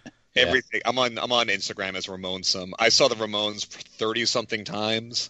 Wow. I, uh, yeah, I've got a picture of me and Joey from like 1992, and I'm literally clutching my heart because I am so um, enraptured uh, That- by that- it. That may be why one of the characters in Nocturnal Commissions is a little Yeah. bit of a, a Yeah, yeah. punk, shall we say? He Yeah. is. He is Yeah. based off a, a more. He's more of a Johnny Thunders than a Dee Dee Ramone. I gave Greg a lot Okay. of reference material, but I always thought the way he dies, actually, his origin story is really similar to um, Johnny Thunders, who also died um, in the same place. Yeah. Is he going to Okay, keep the snake? right. Will the character keep the snake? Because that was fucking awesome when that happened. Uh, and the next one, I think is I think they stop and like the second page, they stop their limo on the highway. He gets out and picks up a skunk that's been recently run over, and drapes that around his neck. fucking a. Amazing. So he Can't wait. he could he can talk to the recently deceased, and that was also sort of a nod to uh, part of the Rattler as well. I thought that mechanism we took that mechanism, so part of the Rattler, we sort of repositioned it and made it the zombie's sort of special ability Hmm. to make him unique. Cool. Uh, and the Yeah. werewolf too. The werewolf actually character has a backstory that maybe we'll get into one day. That also makes him unique among werewolves. Um, but you know, we wanted to play with these stereotypes. You know, like Yeah. Um, did these? You talk about the book being dialogue heavy, like. The characters themselves were so much fun to put together, Yeah. and they're so different, right? There's like an odd couple quality to all three of them being Yeah, together. exactly. Yeah. Yeah, yeah. Um, I got that old, cou- couple thing immediately. Yeah, yeah. There's one's clearly Walter Matthau and one's clearly Jack Lemmon. I know There's that. A rumpy old man, yeah. So your stuff is on Comixology. Is it available anywhere else? I mean, I, I think if you go to the Kickstarter, can you pre or Indiegogo? Is There's an Indiegogo uh, pre-order page for Nocturnal Commissions and for Sucker. Uh, so yeah, you can hit either one of those. I also have a website where I sell the books. Um, but I, yes, the mail is still working. You can still get physical copies from me that are signed. yeah. Cool. Well, we will put all the links in the show notes. And uh, Yeah. yeah. yeah. And we, Did we we- cover everything? Oh, uh, my next, so, man. Yeah. I have another book. I'll send it to you guys when it's Oh. lettered. Uh, I've had the art for a while. I've just been too busy to letter it. But it's called Ghost Band. Okay. ah. Yeah. And Is gonna that, be- is that, hasn't been kickstarted, is it, or has it? No, I might do it as a digital only, given the way things are going right now. Mm. Yeah. uh, and then do a print one later. But it's about a global pandemic, and there's a, like a handful of survivors in San Francisco, and they have like a day before they too will be wiped out. So they decide to start a band. and it's about the creative process of you know making art as uh, everyone's dying around you. yeah. So Yeah. it's gonna be it's gonna be a fun book to market.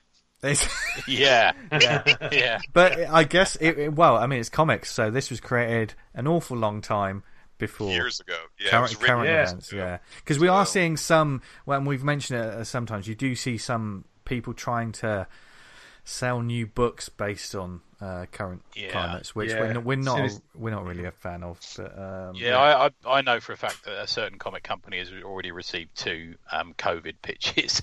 Oh. Oh, Jesus. Yeah. No one wants that. No, no. But I do want a, I do want a book about people that are about to start a band at the end of the world. yeah, I don't mind that. Yeah, Yeah. it's the same what are what are we leaving behind? You know, what is what is life but just making things, right? I'm not. I don't have kids. There's no. When I think about what's going on in the world, right? Like, what can I do? Jack and shit. I can make comic books. That's all I can do. yeah, And this is the course. This is the course that I'm on. yeah, So we're just going to set the controls for the heart of the sun and just keep going. yeah. But there, there's I- a lot of people really reading comics. Yeah, there's a lot of people Yeah. reading comics, and certainly we had immense joy reading all your comics recently. did, yeah. So, Yeah, and you, fantastic. you, you are welcome back on the show anytime, sir. Thank you. Um, Yeah. yeah. Anytime. Thank you for yeah. having me. Yeah, yeah, yeah. We Yeah. love it. Yeah. I'm gonna. I'm gonna miss you guys. Aw. No one else says nice things about me. well, name one of those babies that gets killed after us. Uh. Baby Vince? Oh, we can't eat Baby Vince. oh, and everyone, everyone who's listening, do some fan art of Baby Vince. no, Dude up. no. You chicken tasting baby. You know, there there is there is a story reason why he's eating why he's eating babies. It's because people are being vaccinated against vampires. So Right. people now at this age they think it was all a hoax, so they're no longer vaccinating their babies. So he often has to go young to uh, to eat well. Funny, What yeah. kind of people don't believe in vaccination, eh? Yeah. What's that all about? Yeah. You know, the world's a crazy fucking place. You've got those uh, nutters like burning down 5G towers because they think it started coronavirus. It's like, Yeah. uh, please. Every, everywhere's Fucking info. bonkers. It's all info. Yeah. Isn't it? Yeah. Fucking hell. But um, yeah, it's a crazy world. Jason's making uh, crazy comics, and we fucking love them. So Yeah, brilliant. go forth, read them, and thank you again for joining us, Jason. It's been Thanks, awesome. Yeah, what what am I supposed to do now? I don't know. This is the, the peak of my week. Yeah, that was the crescendo, wasn't it? Yeah. You fucking That was the bastard. guitar Now I'm solo. going to be depressed. You fucking pricks. now what do I do? Uh, Trust me, when you hear the episode back, it won't be it won't be that special. You're going Trust to me. edit out all Yeah. the compliments. yeah. yeah. You're going to make me an anti-vaxxer. yeah. Anti-vaxxer. Corona do- denier. Yeah, Infowars McNamara. He's on the show this week. Yeah, yeah. His, Yeah. his new his new book is profiting off. You too can make a dozen dollars in the comic book industry. I'm a dozen If you're air. lucky. If you're lucky. Awesome.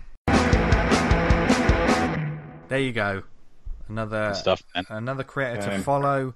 Read all Yeah. read all their books. Um, I mean, seriously, they're, they're just great. You know, like, Yeah, you say, we, we We're spe- never fake enthusiastic, and that geezer needs you to buy his comics because they are Well, yeah. revelatory. They're Yeah. just good stuff, man. Yeah. You pointed out something really interesting. When we were talking about this book, we were like, Greg Hinkle's art is fucking amazing. Like, it's just fantastic. But like, we were sharing the the the speech and the writing so much Yeah. because it is so so on point. yeah, Yeah, I love it. He thinks about it, Nate. You can tell. Yeah, yeah, definitely. yeah. So uh, go follow, buy his comics, and yeah, just support some great comics that we, we want more of. We we've had Nocturnal Commissions one, and now we really hope that there's a two at some point in the future. So um, yeah, with that with that in mind, we've got the rest of the show. We've got some shout outs and we've got some comics to recommend you. Um, who wants to start with the shout outs this week, gents? Shall I do my two? Yeah, go for it. Sure. So, Mars City Vice Part One is currently on Indiegogo. It's described as Total Recall meets Miami Vice. There go. Um, the writer wrote into the podcast and said, um, "Could we give it a shout?" So that's what I'm doing, and it does look good. Looks interesting. Um, there's um, uh, also for Atomic Hercules, from a personal point of view, we're looking for some letters for the letters page. So just write your most vilest shite and send it in to us. Where, where Um, should, you know where, where we should, are. where should they send Just- it to? uh, you know, there's a hole un- underneath the tree. No, just send it to. Um, fucking oh, fuck, only knows. Send it, send it to me on Twitter or something. I don't care. Somewhere, just do it. I don't know. Yeah, yeah. Um, we could yeah, get so them write to send it letter. to the Awesome Pod. You can do, yeah. You can send it Yeah. Yeah, oh, if you go well, we've, Tribune we've got, we're actually we've got tony.awesomecomicspod at gmail.com. Yeah, I've got that turned on as well. That that one for a change. You've change. There you always go. got I'll it turned on. Yeah, yeah, yeah, baby. Just those. They're my two easy ones. There you Uh, go. my shout's going to be for our awesome comic uh, drawing group. Yes. We uh, had a great turnout on uh, Wednesday of everyone doing their portraits for, for each other. We did kind of like a you put your name oh in. man, some really good Yeah. ones. Really good. Uh, Vince Yeah. is absolutely chuffed. Viz. Yeah, yes, for We've those got who- those who don't know, if, if this if this is the first time that you've ever listened to us, welcome. Um, but yeah, we've got the Awesome Comics Talk group on Facebook, and there's in in this time where creativity is just absolutely just firing off left, right, and centre. Dan Butcher, the genius Dan Butcher, who loves doing an art thread, um, did a portrait art thread, didn't you, Dan? Yeah. So basically, you put your name in, uh, picked one out at random, and matched everyone up. Yeah. Uh, you didn't know who you was drawing or who was drawing you, Yeah. and gave Any, anyone was welcome. Anyone and everyone Yes. was welcome. So if you're part of No that bar. Facebook, yeah, yeah. If you're part You're of the Facebook group, then you obviously love comics anyway, so welcome. We love you. Um, but yeah, just seeing that art thread. I, lo- I love the art threads on the community group anyway, but that one absolutely smashed it. I mean, I was when when I um when I got mine from Christian Wildgoose. yeah, nice. Um, it is now my avatar on everything. um, and it absolutely made my day. Absolutely made my day. But just that side, just seeing all the all the rest from everyone was just absolutely brilliant. Yeah. Yeah, it's, it's, Yeah, it was really well, good. A few people using them as um, their avatars now. I know um, Gareth Hopkins did one for Mr. Cumber, didn't he? And he's using that now. Yeah. Yes, it's just great stuff, and it's just, but it, it wasn't. What I love about it, it was it was genuine attempts to do like, put- you know, they were obviously the people Yeah. doing them in their own styles, but it wasn't like, you know, taking the piss. They're all genuinely. It was an art thread. It was a proper yeah. art thread. He- He- Helena's from Art Nine 92 was amazing. Yeah. shit is Yeah, amazing. some really good stuff. Yeah, yeah. So no matter who you are, if you if you want to take part in things like this, then join the group. And there's Join lots of stuff going on like this. Have you got another shout out, Dan? Yes, the the second draw off. Oh, Uh, okay. We're going to be announcing it now on the show, but I announce it in the group tomorrow, Monday, the sixth. Uh, we're going to do uh, an Asterix and Obelix tribute. That's Oh, got the nice. Most votes. Yeah. I drew So, an, uh, ob- an object the other day, so I'm going to give this one a go for a change. Yeah. Nice one. And uh, for this sort of thing, is it? It's not so much just a trace them. Everyone do them in their own style. That kind of. Yeah. There's no guidelines. Do whatever you want. Use it as a as a tribute to the, the, the creator and the characters. Yeah. Yeah. So Did you see you the, want to did you see interpret the um, Sienkiewicz one? Uh, fucking Sienkiewicz hell, one? yes. yeah. Yeah, That's great. Um, and that was just That's done really in his style, wasn't it? Yeah.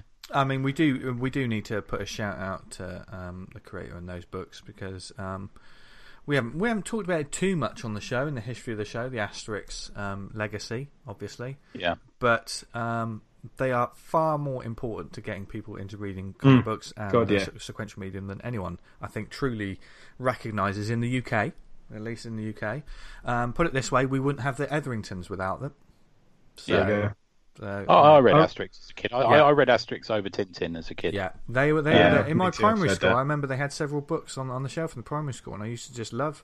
I mean, the whole seeing Asterix just knock a Roman out of his sandals. That classic sort of. Great. Yeah, Yeah. just. I remember. I remember when I in my- finally. Sorry, man. Go Go on. on. You go for it, Danny. I was going to say when I finally realised what Dogmatix was. You know, because you didn't Yeah. understand the. I didn't get any of those pun names. Yeah. Yeah. they were completely like, oh fucking hell, get a fix.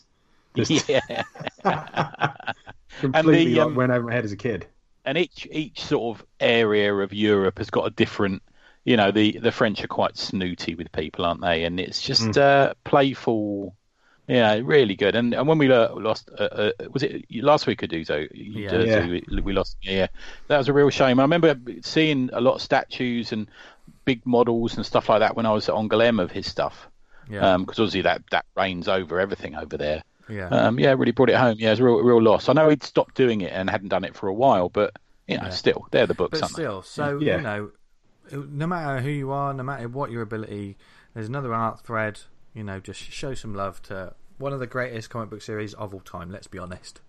they? Yeah, Um, yeah, yeah. You know, you can't you can't debate that whether you like it or not. You can't debate it. Um, uh, and yet more creativity to shout out this week. That's what I love about this. There's so much going on at the moment. Loads going on there. Um, yeah. Two two um, sort of little mini movements um, that I want to shout out to. Uh, Sam Williams and Russell Mark Olsen started the hashtag Major League Mugs, which Oh shit, yeah. which has yeah. properly taken off. Um, I wrote the um, the little byline for someone's. Um, they sent it to me and said, "Oh, you're good with writing silly stuff. Write this for me." And I wrote a little byline for one of the characters. Made me chuckle today. yeah, So I got, even I got involved. Yeah, yeah, yeah. there's basically one of those sort of name generators. You know, your the initial, your first initial, and then your last initial. You know, they and they, you you get your words and you get your your sort of your fictional old timey baseball character name, and then everyone's just been drawing their own baseball card with these different characters. The art has just been absolutely phenomenal. Um, it's properly taken off. Um, I can't wait to see what um, Butcher's going to do. Um, Yes. I certainly had fun with my fun with my one. You know, some some people are just sort of like out of nowhere. You're just seeing these amazing sort of baseball cards and artwork come up, and this is from like a, a lot of people are from the UK where baseball isn't really our pastime. Yeah. I, I know No, Sam, yeah. Sam's a huge fan of it, isn't he? Uh, Sam from Good Comics is a is a massive. Oh, he's done a comic about it, hasn't he? They've Yeah. done a comic over there. Ah. yeah, yeah, yeah, yeah. So um, yeah, so good on uh, Sam and Russell for starting this. It's been immense fun, and also um, hashtag six fan arts, which um, obviously Oh, yeah. you, if you've been on social media, then you've been seeing um, six boxes and uh, a template of give me six characters to make fan art of. This was kicked off um, by at M C A P R I G Lionart. I I don't want to murder the name. Um, We'll put a link in the show notes, but uh, you know, fantastic artist that just decided to do this, and it's completely taken off because basically artists are just asking whoever follows them, give me some characters to draw, and we're seeing some wonderful sort of fan art in the in these little boxes get posted up. Um, I decided to do it, and and and I'm forgive me. I amended the template to say give me six small press characters to make fan art Yeah. of, and then I nicked um, yours. yeah, uh, Butcher nicked them. Uh, Gav Mitchell's also done. You know, there's a little. It's it's a real sort of groundswell of people just loving to draw other people's characters, and it's beautiful. There, I mean, I, I've done some small press characters. I'm going to do. You know, people very kindly gave me a list of some other characters. It's just nice, you know, to be asked to draw these sort of characters as well. It's just it's just fun. It's just fun. So um, yeah, definitely you, you won't have missed it if you've been online. You've seen some amazing artwork. You know, you- you're seeing full coloured pieces and stuff go out with some of them. I'm thinking you're you are taking the piss. Yeah, I just did black and white with to- like tones and then slapped a bit of colour on top. Yeah, For and I just did black, white, and grey. Um, Yeah, yeah, yeah. But it was quality. There's probably going to be more of them because there there isn't a deadline on this. There's going to be a lot more people doing Yeah. them. So yeah, keep keep it alive. I just wanted to put a shout out to the original template. On the templates, it does have it at the small. You, you do have the link to the original artist, so so give them a shout as well. But yeah, hashtag six fan arts. Keep an eye out for it, and yeah, just keep the um, this creativity coming because that's what we love to see. And we also love talking about comic books. And we've gotten to that stage of the show where we're going to recommend a few. Yeah. Um, so, Tony, do you want to kick us off? well, do you want to lead? Do you want to lead us off? Because I'm gonna I'm gonna throw my tuppence into yours as well. Pardon? Um, ooh, uh, the uh, we're. You, you- why don't you start with your one? Because it's a funny one. Your one. I like yours. Yeah. Um, I um, basically went to Comixology, even though the, the prices have driven up, and for a lot of the UK people, and it's. I'm still endeavouring to to seek out indie books to to read, you know, and and hopefully, you know, they won't break the bank, which they rarely do with indie books. You get some absolute fucking gems on there cheap. Um, and I found a, a trade that was uh, it was on offer at the time, and it was called Gangster Ass Barista Volume One. Regular is not a size. Um, this is ri- written and created by Pat Shand, illustrated by Renzo Rodriguez, uh, lettered and designed by Jim Campbell.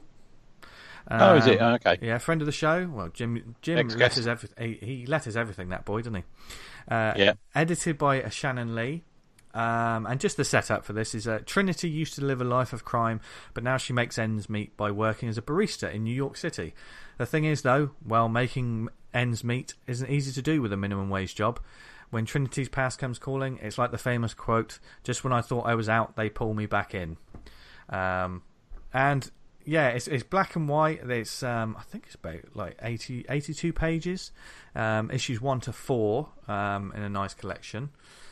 And yeah, I straight up, I just want to say, I took a chance on this um, because the title made me laugh. um, and not only that, the preview pages included a panel with the dialogue, "I think your baby just took a shit." Yeah, that's Um, the one you sent us. That's the, that sold me on it as well. That one. Yeah. yes. um, but this, this I I had real fun with this book. Actually, this is a, it's a great book. It's a spin-off book from a series called Destiny um, New York. Is it? Um, I didn't yeah, know that. Okay. Yeah, I've seen that many times on like you know when I go on the New Comic Book Day browse and stuff, and it, like Destiny New York is a series that's still going. It's like on issue twenty, I think, at the moment. Um, Okay. Which is awesome for an indie title, I think, of any kind to get to that. I mean, Yeah. Butcher is just the norm, is He's absolutely smashing them out.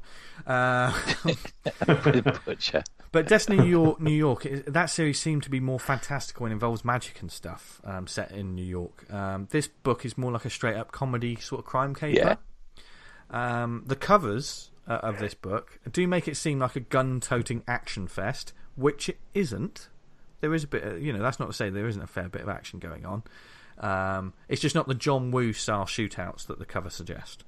Um, I do really like the cover actually, and, and the artwork. You know, the artwork on the covers and stuff is really good. Uh, it is immense fun from cover to cover. I will say, um, there's a real sharp wit, and the main character Trinity, I immediately became a huge fan of. Um, not just because she's got a potty mouth and comes out with some absolute gem. Gem lines, um, so like a likable rogue with a Yeah. Oh, she's not even an anti-hero. She's just Yeah. a villain in many bits of it. yeah, yeah. she? She, it's like a villain that's trying to be a normal. It's you know, Yeah. is that um, but not in the sense of like sometimes when they write these sort of stories, you're a villain who's trying to be normal, who's then but still doing villainous stuff. It's someone who is trying to just leave it all behind, and the and the past is quite a dark one, um, and you get hints of it. Um, but I, I, you know, immediately the story sets her up really nicely, and you, you're already on her side. I think that's because of the wit, though, isn't it? And like you know, the just the the one-liners and stuff. But yeah, she's just trying to make it in the regular world, even though everyone pisses her off, which is hilarious anyway. And her past is Yeah, I, I'm always warming to character. I always warm to characters who are just pissed off by everyone in real life. yeah, who It's- just who just like yeah they've they've got little tolerance for people that are just just complete idiots. And as anyone who's probably worked in, you know, as a barista or anything like that, you you probably have to listen to a lot of people. They're, I mean, regular is not a size. That, it, that comes into all, all these people asking for regulars when that's not actually a size on the list. There's some brilliant sort of moments of that. People that are like, the, the customer always thinks they're right, even though they're not. Uh, um, and it does have quite a lot of like slice of life humour like that that really appealed to me. Because um, it's partly because it is really sharply written. Um, this book, I think. Uh, I think the characters are well rounded. Um, it's a small cast, really. I know you get some some other players that come into it later on, but you know, it's there's three sort of main people that work in this coffee shop that that is kind that are kind of the focus. You know, Trinity's the main. Yeah. One, but you know, even the ones that are kind of just supporting players, they're they're, they're still pretty well rounded. You know, you, you do get a sense of who they are. Um, yeah, you do. Um, I found two to not, not to come in with a downer immediately. I found two of the characters in it too much of a copy of famous people. Put me off a tiny bit. Which, okay. one, which um, ones were they? So the the the manager of the store who takes the money across the road, I forget his name, um, is the bloke who plays Apollo Creed's son in those new movies. He was Johnny Storm in the new Fantastic Four movie. See, I didn't see that. I didn't see yeah, that. Is. I, I look at a couple. Look at a couple of the first ones. It's, it's him to a T. But is that? Um, but that's just him. That's just the visuals, then, isn't it? That's not. Yeah, yeah, yeah. It's just yeah. she's using it, or the artist is using his face. But and the other one is, um, I found the Tony Soprano. oh God, there there is a there is a Tony Soprano yeah. that's so on the nose. It's it's Tony Soprano. And then they call him. They say it's like something out of the Sopranos, and I'm yeah. like, yeah, all right, everything's yeah. whipped around. My head's whipped around there. I don't know what's going on there, but yeah, yeah. Um, the art, the art otherwise is impeccable. I actually say, uh, if I if I ever wrote a review of it, it would be that person can really draw a mean motorcycle. I've got to tell you. oh, yeah, yeah. There's yeah. a lot of um. It's a very clean line as well, you know, and there's lots of detail. Um, there's clearly some nice referencing going on, um, especially yeah. like genuine New York sites that some will recognise. Tony popped one, pointed one out to me that as soon as I saw it, I was like, "Oh yeah, of course." Yeah, TikTok Dynaman, where we've both been. Yeah, yeah. Um, yeah, the names have been changed within the book, and there are there is some really funny sort of like the lettering of like cereal boxes and and stuff like that. You know, there's some real you know, it's a it's an artist that's not afraid to draw backgrounds and people in yeah. backgrounds. Like you know, uh, the main character Trinity, she she goes to the store, she comes across this bag of money, uh, spoilers, and but she's got no food in the house. She's like, oh, I'll just have a little bit. I'll, you know, they won't mind if I just take a little bit of money because I need to eat. And you just see her pushing her trolley through this supermarket, and it's absolutely loaded up with nothing but junk food. Um, yeah. which, which is a splash page, which is just it's the right time to use a splash page at moments like that. it just made me, it just made me laugh. Um, but yeah, but, she gets she gets character spot on. I really like. Sorry, he gets character. Is it yeah. is it a male who wrote it or a female? I can't remember. Uh, um, I I don't want to say it's Pat Shand. I believe. Oh, sorry, male. I don't know. It, yeah, yeah. yeah but the the writer gets it spot on. There's um a brilliant piss take on hipsters. Her landlord. It's just like this spot on. Yeah. Like Oh, it just made me laugh. It's not even some of his dialogue. You're right. You know, yeah. oh, I'm an intersectional. When he was like, oh, I'm actually an intersectional feminist, and then he goes on to say something else, and you're like, oh, they can only be poking fun at him. You know. Yeah. yeah. And it's it's moments like that, like where you see the facial acting in this book is pretty spot on as well. Yeah, it's good. Yeah, I think. Yeah, it's good. You seen me that that panel of the uh, the bloke running away with his trousers running There down. is one. There is one moment I immediately. Um, sent to the the guys on the on the show because I it was a spit take moment for me when I was uh, I was reading with my coffee in the morning. Um, I kind of don't want to spoil it, but I kind of have to. I, I, I think you, you know you'll, you'll be prepared for this.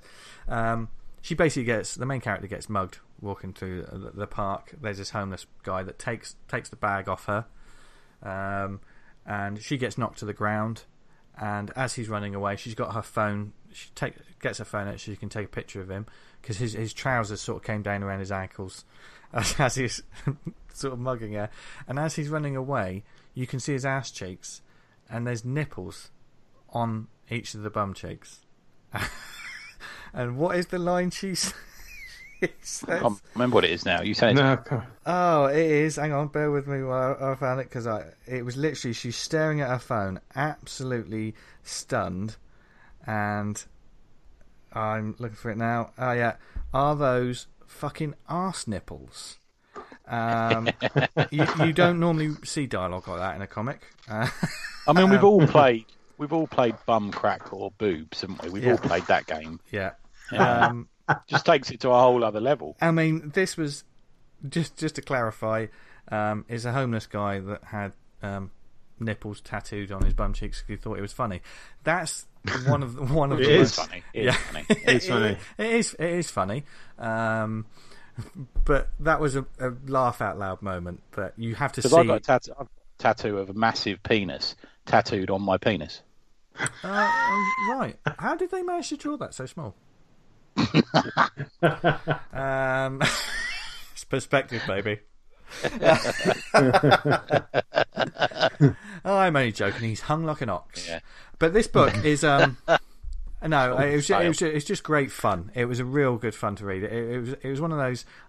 I just took a punt on it and I started reading it, and I was immediately like, "Yeah, thi- I'm I'm glad I bought this because it was it is good fun." Um, I love the fact we're ruining our, our, our bank accounts by just reading constant Comixology comics. Yeah. this Yeah. week. yeah, Mine's a fucking Comixology comic. Yeah. And I said Oh, I is wasn't it? going to fucking Fine. buy anyway. yeah. Yeah. Um, I do know that. Um, yeah, you can find it. Uh, there's probably lots of other places to get it. It's uh, Space Between Entertainment.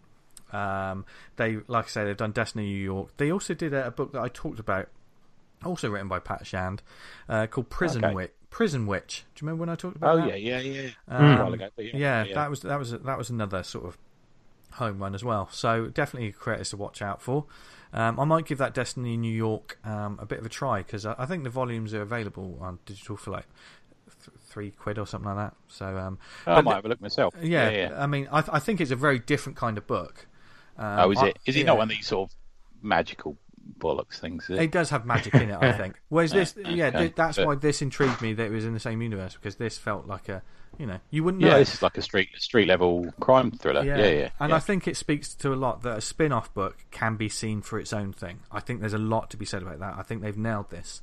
Um, you know, you don't need to read the other books to get a huge amount of Yeah. out of this book. Should stand alone. Yeah, because I think a lot of spin off books are really catering only to the audience that are reading the main Yeah. one, which It's like my spin off book from Marilyn Manson called Marilyn Bungalow is going to cater to the same crowd.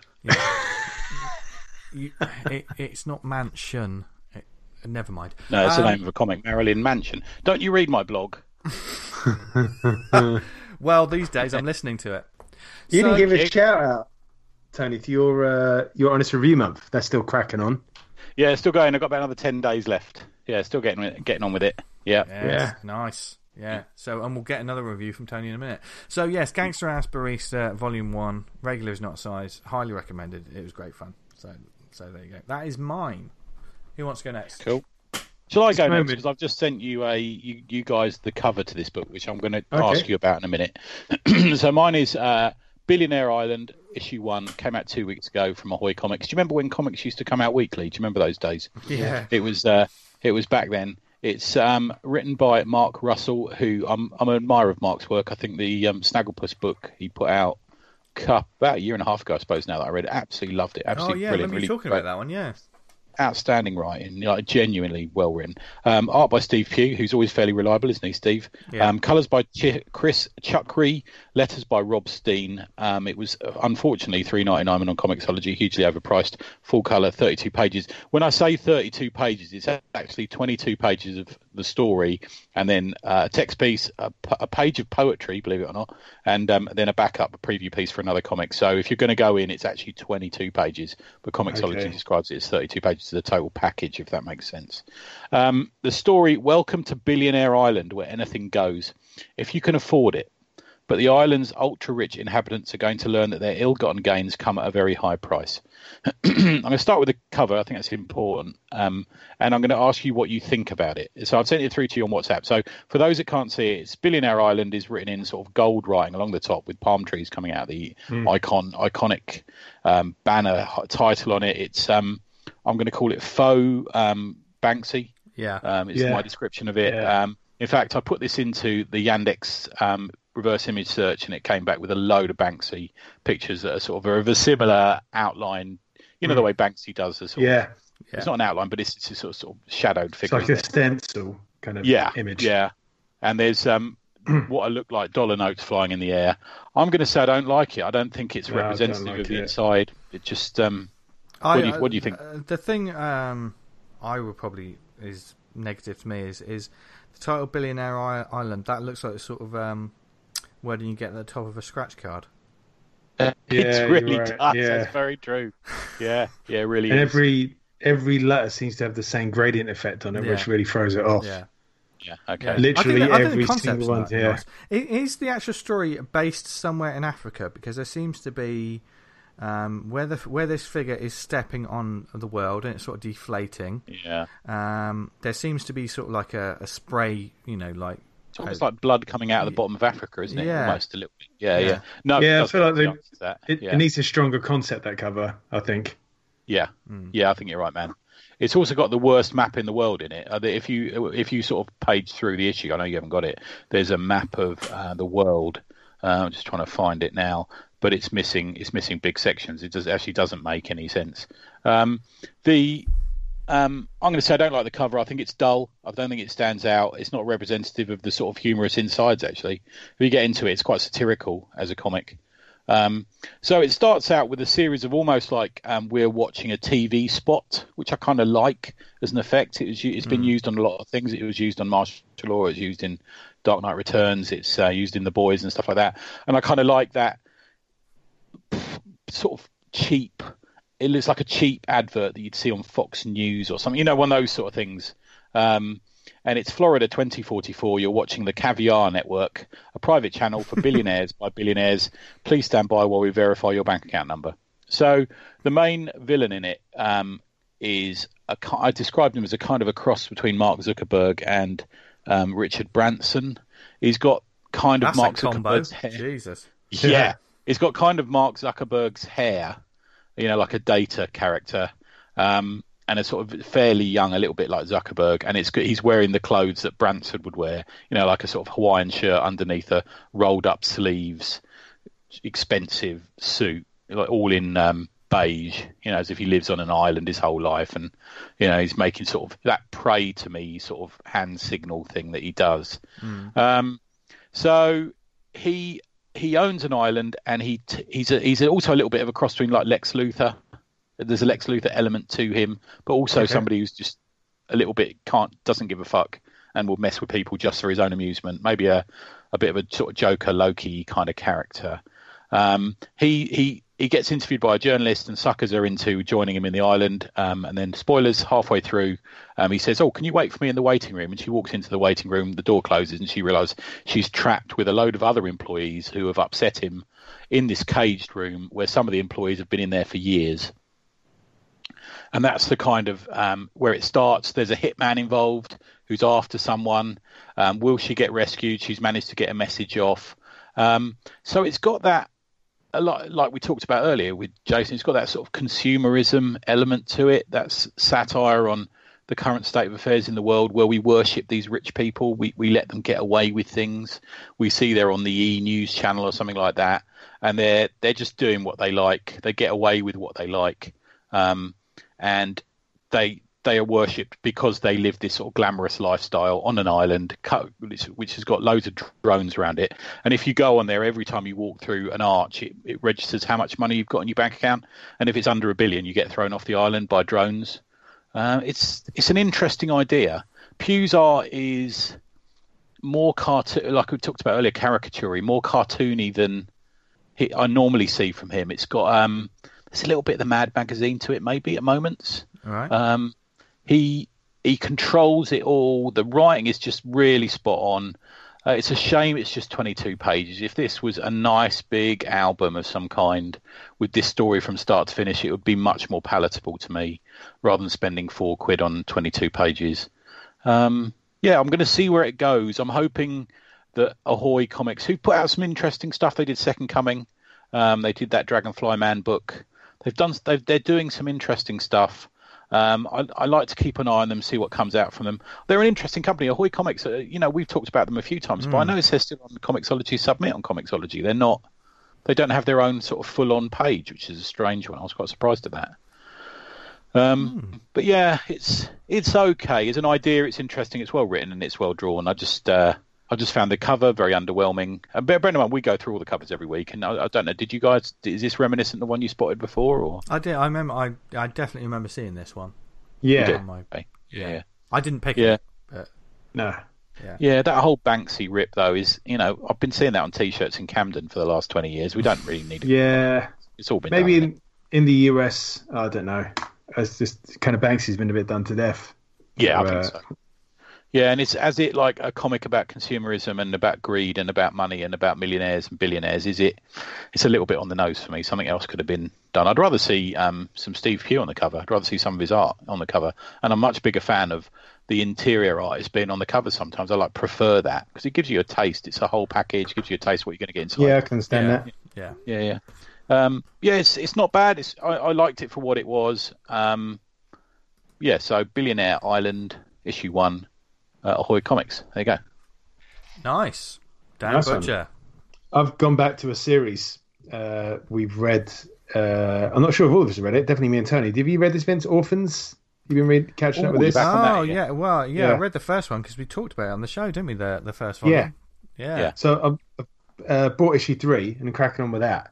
Okay, this cool. one's kind of gone back to more what I've kind of liked about the series, and that's when it, it flashes back to the kids going through the training program Yeah, from being like the, the ordinary kids to uh, like these super soldiers, and it focuses on one of them who's Ringo as the kid, and he grows up to be uh, the soldier gunslinger, and he has a crash on a planet's surface during a dogfight in space, and he has to survive on his own. and it kind of flashes back to the school period where this Ringo kid, he's uh, quite headstrong, a bit of a loner, and he, out of all the kids in the group, he starts to work out that they're a little bit stronger and smarter than the people teaching them. that was a nice little turnaround for me. That, Yeah. that element of it, I like that. Yeah, you suddenly realise that the only reason the teachers are in charge is because of these mind games they're playing with them, don't you? Yeah. So the the kind of general has to ne- enact a mind game to kind of bring this Ringo kid uh, in line to kind of break him, as it were, and because he, he's like one of the best ones there, and they don't want to lose him. But if he goes unpunished, it could risk bringing all the other students that the realization that there's very little holding them in check because you don't know what's happening yet, but like they're being subjugated to some kind of medical treatment or something that's making them more Sort than what they are. soldiers, aren't they? Yeah, yeah. So it's interesting as well because there's in the comic there's six, but in the camp there's the 30, 40. There's a lot of them. Mm. Yeah. So it's interesting to see what's going to happen as it plays out. Uh, yeah, I, I don't know about you, Tony. I prefer the, the, the training camp stuff as opposed to the Yeah, the it's a bit of- too uh, Starship Troopers on the nose for me occasionally. The, Yeah. the battles, the stuff where he's stranded, I didn't mind so much. I thought that was okay. yeah. Um, yeah, they, I've I've read four. I think four's out now as well. okay. Um, so I'm sort of one ahead. But yeah, it's um, it's got that Stephen King. Every kid's got a character. There's, it's interesting, and they're playing with it. I really like the um, the general who's in charge of it. I Yeah, find him great. a really interesting character. Yeah, Him, him. Uh, there's the, the the nurse. Uh, I'm not sure the, doctor, whatever her name is. I really like that character, all the kid character. When it kind of goes into like the modern day, this feels like I've seen all this before, and it's not uh, not yeah. Particularly I'm, I'm a interesting. little bit lost as to who's who occasionally when it goes into the future. Yeah, it's It- kind of It's not always bit- clear. no. Yeah. I'm like, which kid was that again? And then like this one, it seems a lot of them they're focusing on one one kid. Yeah. one or two of them flashing back, and you kind of get to know them a bit more. So this one kind of focuses on the Ringo character and the uh, the one of the younger girls in the group. Uh, So I think yeah, what they're doing, Mag- Magnetic Press are bringing. They've already brought this all out, haven't they? As I understand it, as bigger collections. yeah, I think you can read beyond this if you buy the collections, but because the issues were quite cheap, I think even now they're only two ninety nine, aren't they? For this one jumped up. It's about Oh, three or four quid. Yeah, oh, was it? Yeah, okay. Um, so I've been following them in the issues, and I thought oh, I don't want to double dip, so I'm just following it in the issues and sort of taking my time with it. But yeah, you can read ahead, I think, if you want to. I'd rather just buy a trade. I mean, yeah, I'm kind of the, I'm really low to use Comixology nowadays, except unless there's a kind of sale on. But I'm Yeah. quite happy to buy a title and think, oh, I like the look of this, and get get a trade of it. I think you can get them. I think um, I was looking at um, Infinity Eight on the other day, and I think you can buy the trades off. Ah, okay. Might, Yeah. might might check that out. Yeah, good stuff. Yeah, it's a good Nice. series. It is a good series, though. It's a, I don't know- Not, not, down on it, but yeah. If that's like the first volume, I don't know where they're going to take this second and third one. I presume away from this war. This war can't go on forever because there's not the legs on it. Yeah, I've, I've got- I've got a feeling that it's either the issue you're talking about there or the following issue. There's an art change. Oh, okay. The next one there might be an art change. Yeah, There's not too not too much of a shift, but there is a difference in it. It's Robert Recchioni and Emilio Mammucari. I can't the remember who the, artists. sec- Yeah. the next one is, but yeah, I think there is. Yeah. Okay. Okay. Cool. Interesting. No, it's, yeah, it's a good series. I'll, I will keep with it. I, I'm enjoying it. You know. Yeah. Yeah. I'm not going to knock it. It's, it's a good fun read. Uh, yeah. Nice. So Cool. lots of fantastic comics for you to go out and check out, search, read, just enjoy. Um, yeah, the recommendation section is going to be full of uh, the page itself is going to be full of links to check out Mm. these amazing creators as it is every week. And we thank you for listening to us every week, and we hope you enjoyed this week's show. Um, we certainly had, had a lot of fun. Well, we always do. I think we, we, we just like look, Yeah. talking to each other. I was about to say looking at each other. we do. But I Yeah. do like looking at them. Well. We like that. We like that too. yeah, lovely. Yeah. Um, I could gaze at them all day. Um, but seriously, um, we hope you enjoyed this show. If there's anything you want to let us know about, future events, um, comics you're going to release, you know, um, is that perhaps we we got a name wrong, or perhaps you just want to Well, luckily. yeah, tell us that we did all right. Then there's several different Yeah. ways you can do it. You can email us, awesomecomicspod at gmail.com. Likewise, if you have a letter for the Atomics Hercules 2 page, send your letters. These are just fictional letters, aren't they, Tony? Yeah, so send what you're liking. Yeah. And send them to Yeah. to- tony.awesomecomicspod at gmail.com. Uh, follow us on Twitter at the Awesome Pod, where we'll be retweeting the show, just putting the shout outs for all these different things that are going on, and probably retweeting a lot. There, we're going to post some stuff about the art thread, different art Yeah. threads and stuff going on. Oh, can I just next few days. mention? I forgot. I forgot to mention earlier. Can I thank Mark Kaprinaroff, who sent through some comics, which I'm about to read tomorrow. I looked at one of them; looks excellent. Thank you, dude. Nice. Cheers, very kind of you. Beautiful. You should send through our guest, uh, Atomic Hercules 1. Oh, I'm should sure do, you shouldn't I? Yeah. yeah. Yeah. Yeah. yeah. And uh, yeah, uh, if you do the um, Book of Faces, go to facebook.com slash awesome comics podcast. And as we mentioned it earlier in the show, please, please, please join the group on Facebook, Awesome Comics Talk. It's the only thing on Facebook you really need to do, actually, because there's a fantastic community of people who just want to talk about There's no hard selling. There's no like just links for Kickstarters and absolutely no interaction with people. There's a fantastic community of people there who just talk about comics, comic events, creating and stuff. There's wonderful stuff going on there. Highly recommend it. Uh, so just search for Awesome Comics Talk. If you want to apply with the administrators, so say you listen to this show, thumbs up and what comics you like, and we'll we'll just send you through to have fun. Um, and thank you for listening to us, whether it was on the website awesomecomics.podbean.com. If you listen to us on iTunes, subscribe and leave a review, and it just helps get the word out about more comics. Uh, there's loads of networks you can listen to po- podcasts these days. They're all over the shop, like Spotify, There Stitcher, are quite a lot. Podnose, Podknife. What other networks are we on, Tony? Pod Niagara Balls. Sometimes That's I a want, yeah, that was quite a good one. I, I sometimes I, I want. good we're silent during that bit just to let the joke just fall dead on its ass, but that was quite good. that was quite good. That, that was winning. That Yeah, joke. Thank you. yeah, Thank that, yeah. oh, butcher. Anyway, uh, where, Yeah, stay stick around to the end for a great quote. oh yes, Yeah, the best quote ever. There's a little bit coming uh, after the, the credits, so stay tuned for that. Um, but until then, where can people find us online, etc.? Tony. neverindanything.blogspot.com for honest review month. All the details on there you need to hear or read the reviews. Okay? Where can where can people buy your comics? Uh, neverindanything.bigcartel.com. Uh, Yes. where where can people hear your Judas? No, I'm only joking. um, uh, your your other The amount of message I got, oh, oh, and Judas. I'm getting called Judas now on Twitter. Uh, No, in all seriousness, if you want more everyone- fantastic comic book talk, then Tony's got a a, a spin off podcast. Spin-off. yeah. I'm the uh, Sarah Jane Chronicles of this podcast. Yeah. Um, next generation. Oh, don't say that. I'm Voyager. More Voyager. Um, the uh, neverwrineanything.podbean.com. Yeah. I edited something this week. I was quite proud of myself. I was saying to you earlier, wasn't I? Yeah. I actually managed to edit something. Yeah. Ange. He never edits himself though. He's too gangster for that. That's true. That's true. Um, where can people find you, Dan? You can find me on Twitter at Vanguard Comic, and you can read Vanguard at VanguardComic.com.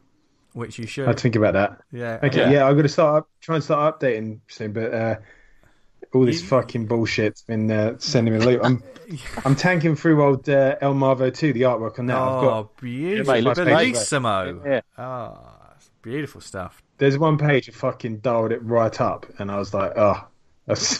Now, now, listeners, those that have checked out Dan Butcher's artwork, um, you know he takes it to the extreme. So when he says he's dialed it right up, don't you agree with me? Yeah. That's a terrifying and wonderful thought. Looking forward to seeing that. Um, you can find me on the socials like a hipster. No, no, God no. Um, but you can find me on Twitter and Instagram at Jester Diablo, where um, I'm posting a bit more artwork and pictures of my cats. So there you Yeah. go. Hey, Um, thank you once again to Jason McNamara to, for joining us this week. It was um, immense fun. Um, but all you guys have to do now is go forth, stay healthy, stay safe, um, read loads of comics, do lots of artwork, whatever you're doing. We hope you have a brilliant time doing it. Uh, thank you very much for listening. And from Dan, Tony, and myself, have a brilliant week. And guys, what should they do?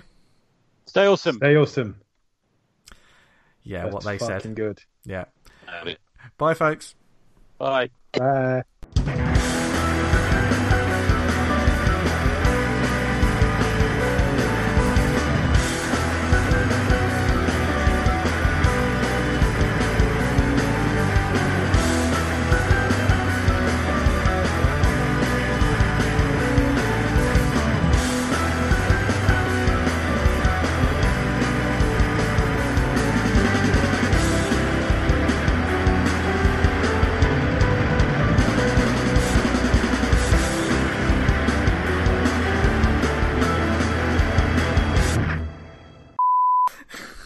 It's, it's a time for strong words and passionate opinions. Ah.